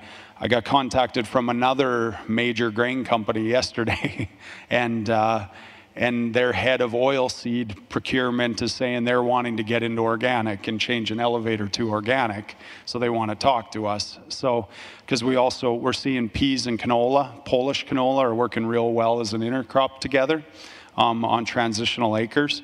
And we there seems to be a tremendous demand developing in asia japan you know a lot of these markets for residue-free grain, and uh, because they don't trust their own markets, so to speak. So uh, the Canadian origin is creating unique value for that. Um, there's U.S. mills um, that are talking about a premium for transitional wheat. They're not getting a premium on the other side, you know, to their consumer. Um, but we're seeing, you know, again, these same grocery store chains, we're actually looking at milling some of our transitional wheat and introducing it as a chemical-free product on the grocery store shelf. So we're doing a bit of this market development ourselves. Um, and, uh, and I've got another mill that I'm talking to out east that uh, they're talking eight to nine dollars for transitional wheat as well. Um, there's a whole bunch of freight complications with rail and how they're gouging, so it's tough for these small companies to compete on a small amount of cars. But that's another whole other story and, and complication. But uh, yeah, and that's a big part of, I mean, I used to have a, a grain brokering business when I was younger. So a lot of this marketing and trading and understanding, I mean, what, what was the core of it was producer to end user in niche products like malt barley feed that had low vomitoxin was coming into Hutterite colonies and, and, and a lot of uh, um, canola into crushers before the grain companies kind of got in the middle of all that. So I've kind of come to the realization that I got to put my marketing hat back on. And because the guys, again, this is back to that strength of a team. Um, because I, I feel so confident in our people and, and uh, I'm, I'm able to kind of step back from some of the day to day execution on the farm. And, uh, and I'm stepping into marketing and what it's feeling like we're going to keep stepping further that way so that, um, I mean, the success of the brokering I was doing was what we grew on our farm, there was lots of people that wanted it. And then they said, well, is there any other people you know that have the same things and we'll pay them the same prices? And, and I'm kind of feeling like that's a bit of the opportunity that lies before us. And I, and I want to help. We are working specifically on transitional markets to kind of almost make them real and, uh, and transactable to other people and, and, and really identity preserved farm direct type stuff with a story possibility as well. And, and we're, we're seeing a big potential opportunity for that in the marketplace. Great, thank you, and thanks for the questions. Those were great. So I'd really like to thank uh, Jason and Travis and Stuart for taking the time to travel here today and share with us some of the information from your production systems. It's been really enlightening for me, and I hope everybody in the audience enjoyed it as well. I know Stuart has to go to Alberta right now, so you won't get to catch him after, but I think the other two will be around for the rest of the day if you had any questions that were left unanswered. So please join me in thanking them for today.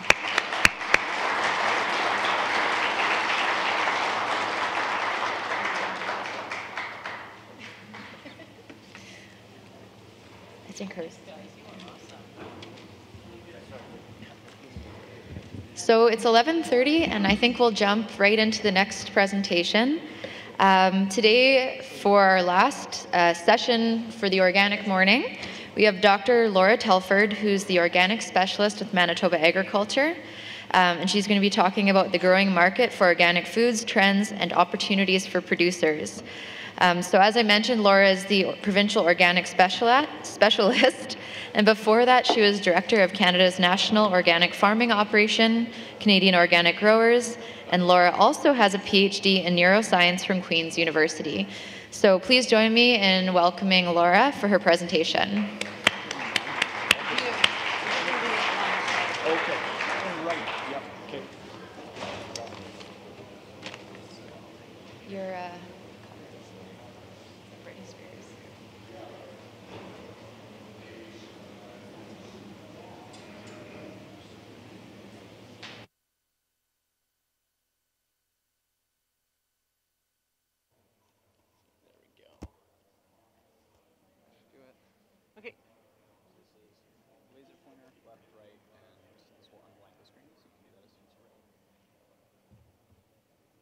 I point it at? Up there? Oh.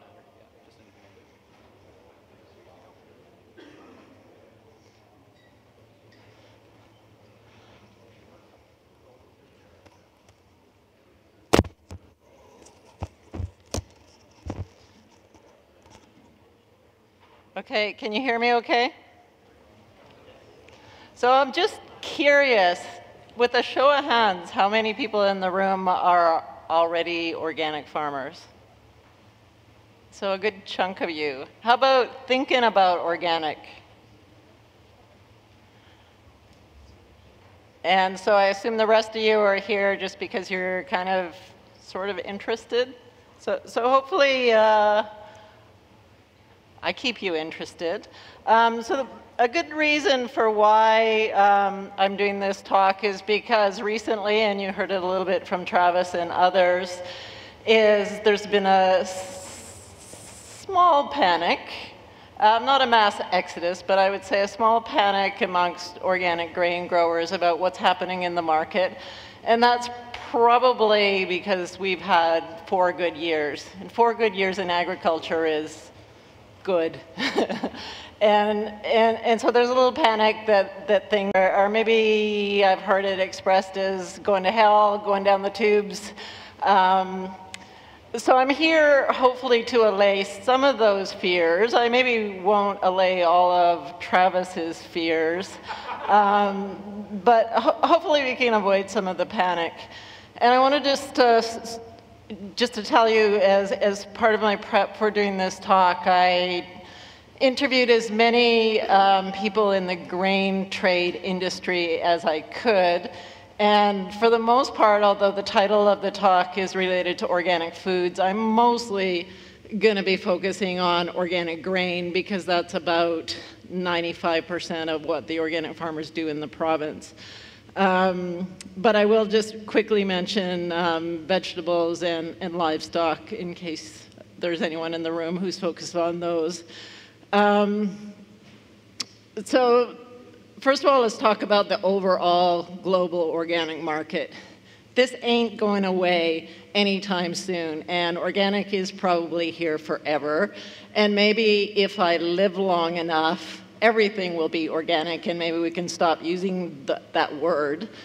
Um, so $90 billion, that's a lot of money, right? Canada is $5.4 billion in organic food sales last year alone. And what that means is Canada is now the globe's fifth largest market for organic foods. So organic is not just for export anymore. I know in the grain trade, we tend to think that it is. Um, but it, it's more than that. So who's buying organic food in Canada? Well, it used to be British Columbians bought one out of every four organic items sold in the country.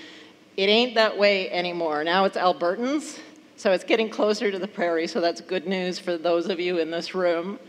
Um, big surprise, it's millennials that are now driving it. It used to be rich people, rich white people who lived in urban centers. There's a few of those, and certainly you'll see a higher level of education amongst organic buyers. But the real driver that is a game changer is millennials. And it's not just organic food that they're, that they're changing. They're in the driver's seat for pretty much every consumer good, or maybe not buying consumer goods, they're into that too. Um, so geographically, I would say that organic is still an urban phenomenon. Manitoba is probably the worst, and correct me if I'm wrong, Stuart, the worst market for organic food in the country. Maybe Saskatchewan is a, a toss-up. Um, and that largely has to do with the fact that we don't have any people. Um, we've all heard about the historical drivers for organic food, um, but these are some of the things that you don't hear about a lot and are becoming very, very important. So clean labels, I don't know if you've ever seen the ads with the little kids trying to pronounce uh, food ingredients. That's, you know, organic is the first clean and the cleanest of the labels. You know, you'll see products from Nature's Farm that basically say, eggs, flour, water maybe. You know, so, so there's very little on an organic label um, that you can mangle. Um, one of the things that we're seeing that is a, is a shift that I'm very happy about because I'm interested in organic as a as a solution to modern problems, as my friend Dag would say from, from Nature's Path, um, and, and, as an environmentalist. Um, historically, North American consumers have bought organic food because, for whatever reason, right or wrong, they think it's better for them. So it's that me, me thing. Europeans have always bought organic food because it's better for the planet. And now we're seeing a shift. Guess who's driving it? Millennials. So if you have a kid at home who's under 30, uh, maybe tell them to get out of the house, but they're usually the ones driving that, that switch to organic. The other thing that's um, really affecting the grain trade is what I would call fear of glyphosate. That's coming very strongly from Asia and Europe. It's at the point now where fear of glyphosate is now being used as a non-tariff uh, trade issue. Um, so there are, we've pretty much lost Western Europe as a market from North America. Climate change, we don't talk about that very much, but this is becoming, we talk about climate change, but we don't talk about climate change and organic. So this is becoming a big one, especially in policy circles. So if you're finding that organic is getting more traction from governments, you can count on the fact that they think of it as a solution for mitigating climate change, or one of the solutions. Um, so just to talk a little bit about numbers, we heard from Travis and others that organic producers are afraid of being swamped by other producers coming into organic. Well, we're a long ways from that in the prairie. Even if you count Travis's 40,000 acres, we're a long way uh, from having a, a, lot of acres. Um, and although organic acreage has grown rapidly in the past three years, to put it in context, we're barely back to where we were before the recession in fact, we have not gotten there yet in Manitoba in terms of recovering the number of organic producers that we had in 2008. So it's a long road back, um, but we're getting there. So we have 117,000 organic acres in Manitoba and 3.2 million acres in Canada. Just to put that in perspective in little old Manitoba, this is where organic, the one in red, and this is all organic crops, including fruits and vegetables and plow downs. Um, it ain't that small um, when you're talking to policy folks at Manitoba Agriculture because there's more overall acres of organic whatever than there is for sunflower seeds or dry beans or rye or fodder corn. So think about it that way when you're trying to make an impression. Yes, we're not canola, but we'll get there. Um, so the top graph here shows you the number of producers in Alberta, Saskatchewan, and Manitoba um, between 1999 and 2017, the green line shows you the number of acres. The downslide there is the economic recession. Organic is very susceptible to um, world economic conditions. The first thing that goes when you feel fearful about your livelihood is expensive food especially expensive processed foods. You might continue to feed your baby organic milk, but you stop feeding your husband anything organic. um, so what you can see from the green bar is that acres have been less susceptible to uh, the recession than were producers. So what the bottom graph shows is farm size. And this one I completely blame on Travis. His data wouldn't be in here yet. But you can see the average farm size in 1999 in organic was less than 400 acres, prairie-wide. Now we're getting close to 1,200 acres, which is still small from a conventional perspective, but definitely big for organic. Um, and that's because, the, um, as you can see from the top graph, we've lost producers, but we didn't actually lose all that many acres. So that meant when a producer retired from organic, the land usually continued to be managed by another organic producer, so they just got bigger. So I want to tell you quickly um, if, if, we're, if we want to get into a fear mode of there's too many organic acres out there, I want to show you the data for what's happening globally with cereal grains, pulses, and oil seeds. Um, so you can see this is data from the International Federation of Organic Agriculture that, um, that, that cereal grain production has dramatically increased in a relatively short time. But to keep this in perspective, uh, it's still not all that many acres. Um, so you can see the 2,016 acres there. Um, so there's, there's still room to grow. Uh, where are those acres produced? Well, it used to be that we didn't even count China because A, they didn't provide data to anyone, but they kind of snuck in there and went from nothing to everything in probably about three years in terms of organic grain production. So now they're the number one cereal grain producer. But do you need to panic? No. Why don't you need to panic? Because they eat everything that they produce, plus they import a whole bunch more. So it's not China you need to worry about. China is the world's largest emerging organic market. They have real, true fear of food.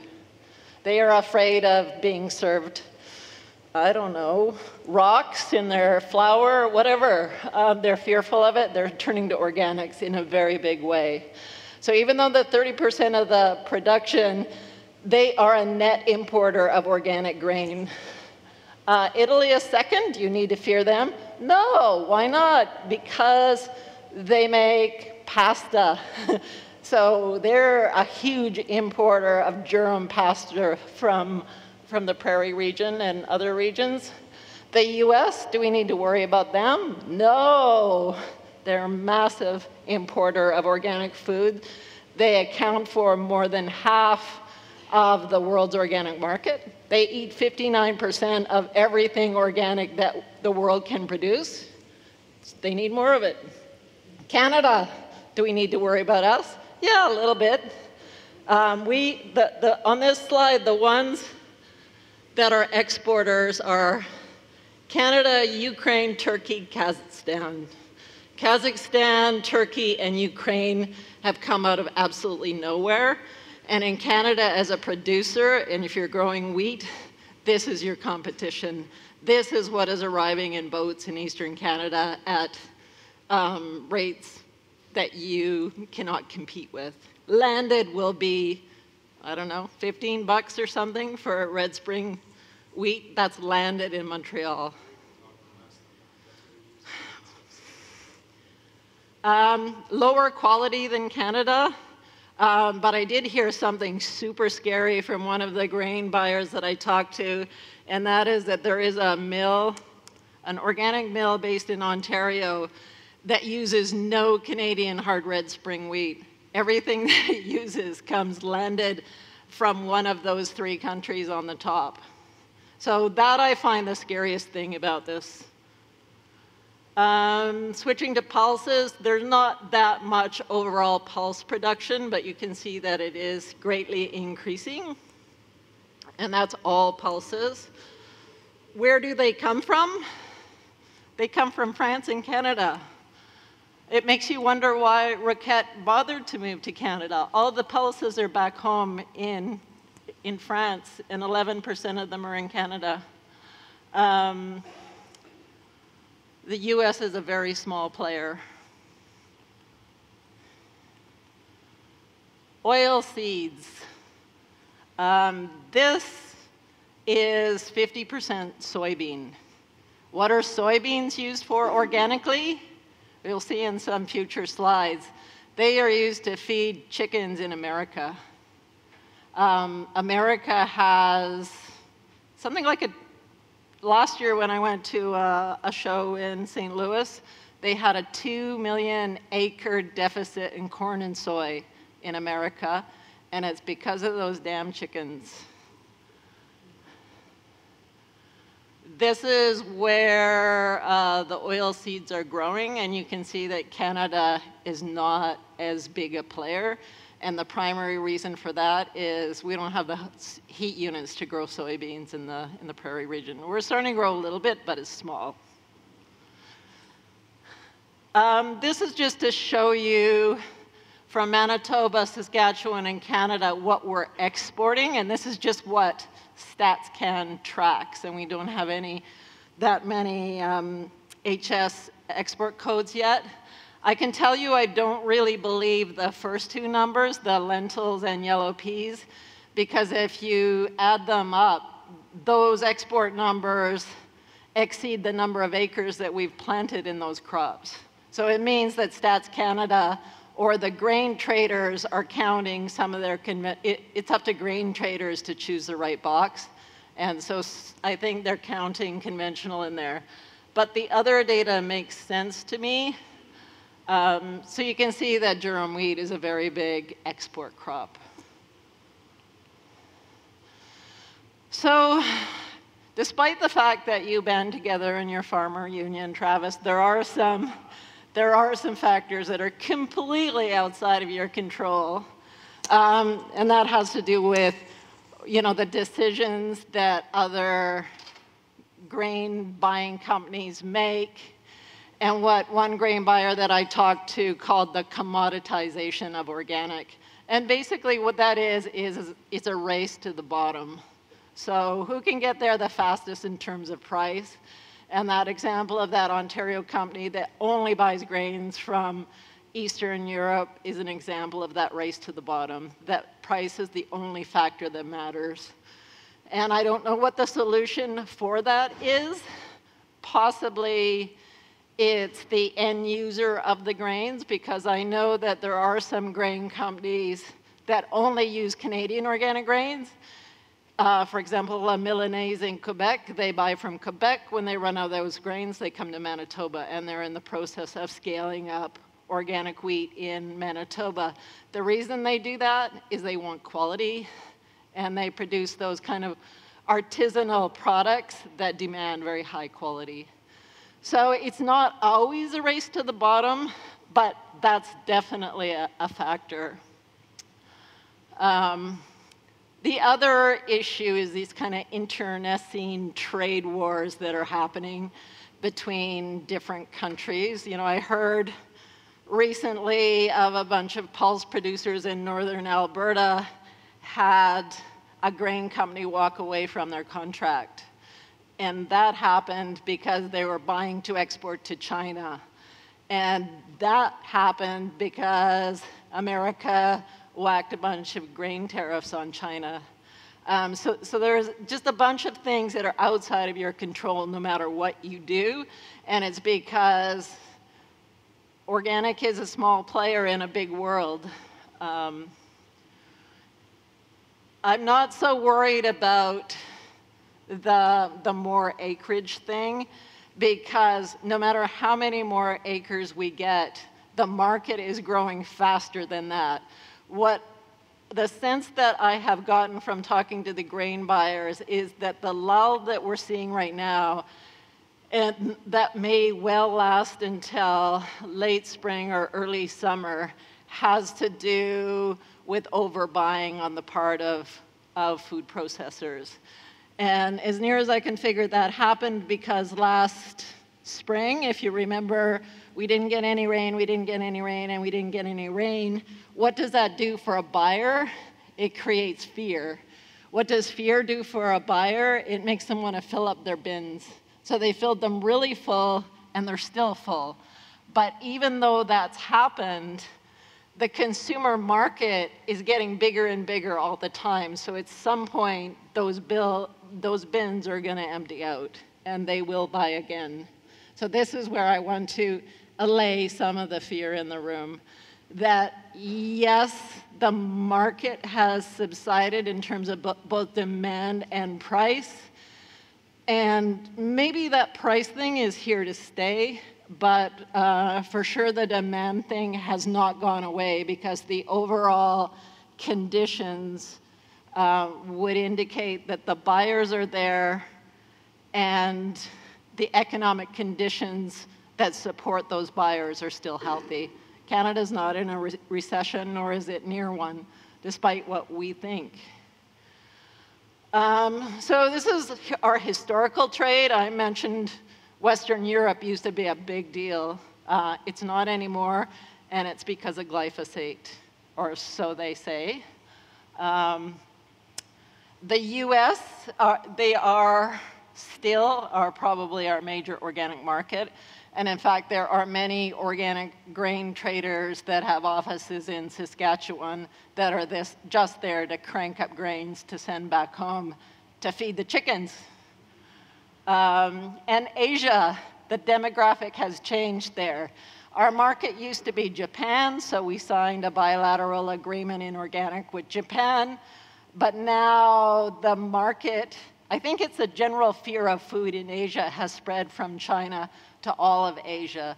So you'll see Malaysia, uh, Singapore, Taiwan, South Korea are all becoming huge markets for organic. And those people are coming over to Canada to shop for grains. So this is just to give you an idea of where you should be looking. Right now we have some challenges with Asia, but those are temporary, I think. Um, this is just an example of what we call bilateral equivalency arrangements. Those are negotiated country to country, and they are organic agreements. So what they are meant to do is make it a hell of a lot easier for Travis to sell his grains into Singapore. No, not Singapore. We don't have a trade deal with them, but anywhere Japan, let's say. In the old days, you go to your certifying body, and they would have required you to check a box for the countries you want to trade to, and then you actually have to pay to get inspected to the standards of those countries. Equivalency throws all of that out the window. You check one box now, and you're in all those countries for which we have relationships. And we have five of them. And then if you couple that together with the Canadian government's broader trade agreements, CETA to Europe and TPP to Asian Pacific countries, you have a lot more easy access to trade, she says, without ever having sold a grain in her life. Um, so, right now I'm just going to go really quickly through some price data, and these data happen to come off the Pivot and Grow website, but I think originally they were probably data that I collected. Um, so this shows you conventional and organic milling and feed wheat. So the top line is, is you see from 2012 to 2018, there's a lot of fluctuations in the organic market. And that fluctuation is that dynamic is really related to the size of the market. You get one buyer in organic who wants a whole lot of hard red spring wheat when you've only got this much and you have someone who wants this much, you get a huge perturbation in the market. Um, that doesn't happen in the conventional world because it's exponentially larger and it can withstand those shocks. Um, so the top graph shows you the month by month breakdown for 2018 for milling wheat at the top and feed wheat in the blue line. And then the bottom graph shows you the price differential between organic and conventional, and we call that the organic premium. And you can see that for hard red spring wheat and feed wheat, that premium's pretty good. That dotted line at the 100 mark right there would represent, on the bottom graph, would represent the conventional price. So you can see that no matter what happens in organic, you always have, uh, so far since the recession, you have a, a premium, and that premium will vary. But for hard red, it rarely goes below 150, which means a 50% premium over conventional, which is decent. Um, and you can see that on the top graph, at the start of this year, we started off with $21 a bushel hard red spring wheat, milling wheat, and by the end of the year, we're at 17. One farmer told me today about a bid of 14, but that's an outlier. If you're, if you're a good marketer, you should be able to get $17 these days. I'm not going to go into this because Roy talked about cost of production, but this slide is here just to show you that cost of production is not just a production tool, it's a marketing tool. So, what that tells you is how many bushels you need at any given price, or what price you need at any given yield. So depending, usually you know one of those two things, what the market price is or what your yield history is. And then from that, you can figure out what you need to break even. And as Roy says, our goal is not to break even. It's actually to pay ourselves and have a, a happy family life, which involves making your payments to your house and all that stuff. Um, flax. So you can't see it very well, but there's a yellow line at the top, and that's yellow flax. And of all the commodities I've watched over the seven years I've been in Manitoba, I have to say that yellow flax is the craziest. And, and this is because it's a super niche, small market thing. And we have had years where Chinese buyers have completely changed the dynamic so that we've gotten $60 a bushel for yellow flax. But then there's been periods where you can't sell the stuff. Maybe that Chinese buyer doesn't want it anymore. So it's just a really small market phenomenon. Um, conventional flax has always had a, a decent premium.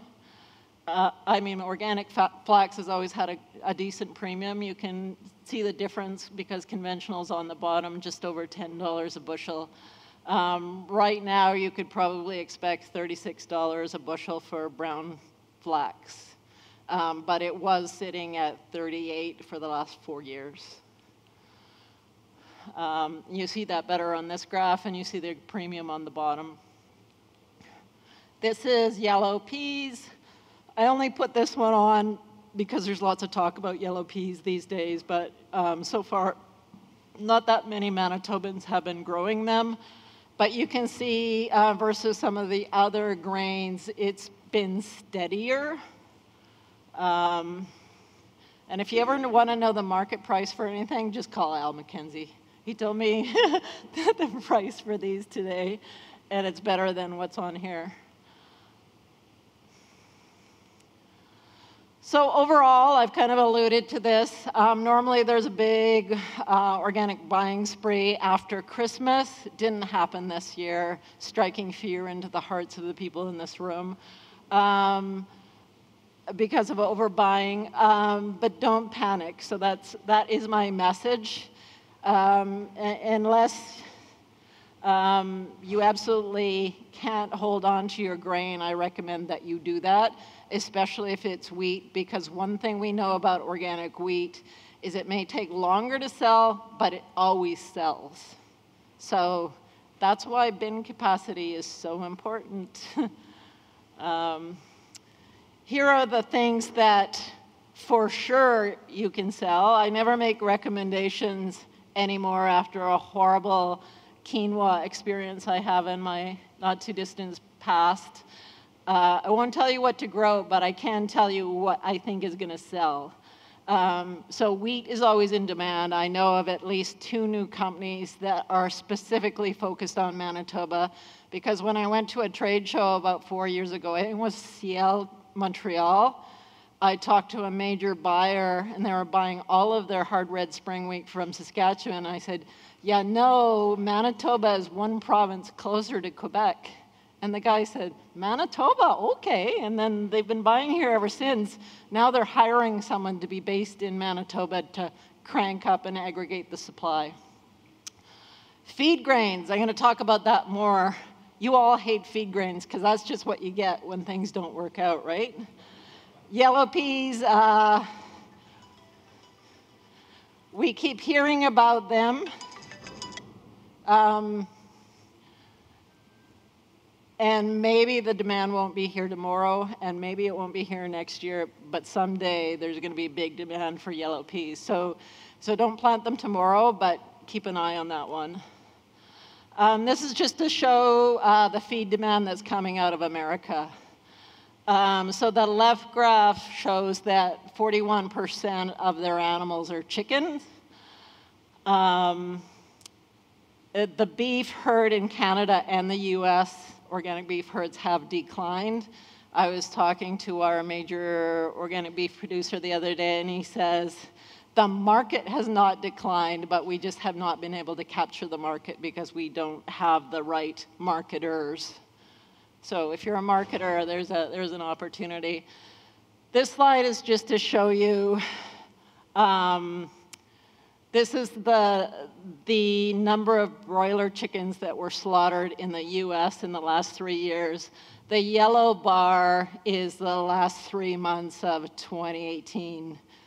Um, so every year for the last three years, um, broiler slaughter has gone up. And we also have laying hens that aren't considered here. And if I can remember the number, something like 53.5 million broilers were slaughtered in America in a one year period in 2017. Add to that another 11 million laying hens on any given day. That adds up to 500 million bushels of soybean. But guess what? Yeah, we don't grow that, but chickens will eat anything, and Americans are figuring that out. So, what they are doing is trying to figure out an alternative diet that includes other grains like wheat is, is in big demand, peas, barley. Um, so that's an opportunity. This slide just shows you that we actually have some organic food processors in the province. Call one of them and chat and see what their needs are next year. Um, in conclusion, my biggest comment, if you don't have bin space, go out and get some, be patient, and maybe don't grow that super, super niche cro crop unless you've already lined up a market. You know, don't go out and plant 300 acres of echinacea unless you have a market for 300 acres of echinacea. Um, and also, set your target price on the current market, not on that $25 a bushel wheat that was here a couple of years ago, because that has been and gone and never coming back, unless there's a farmer union. Then maybe. and that's it. Any questions, you can call me. Uh, I just want to put a plug in for our events this afternoon in the Upper Curling Club. Um, it's all industry stuff, so if you're organic, I really hope you're going to be there because we're going to be talking about a new initiative to fund uh, the organic sector and bring in more farmers and flood out your organic prices. No, I'm kidding about that. Um, but I hope you'll be there because we need to hear from you. So that's Upper Curling Club starting at 1. And if you've already signed up for lunch, we'll see you there. Um, starts in a few minutes. Um, we're sold out if you don't have a ticket. Thank you all for your patience.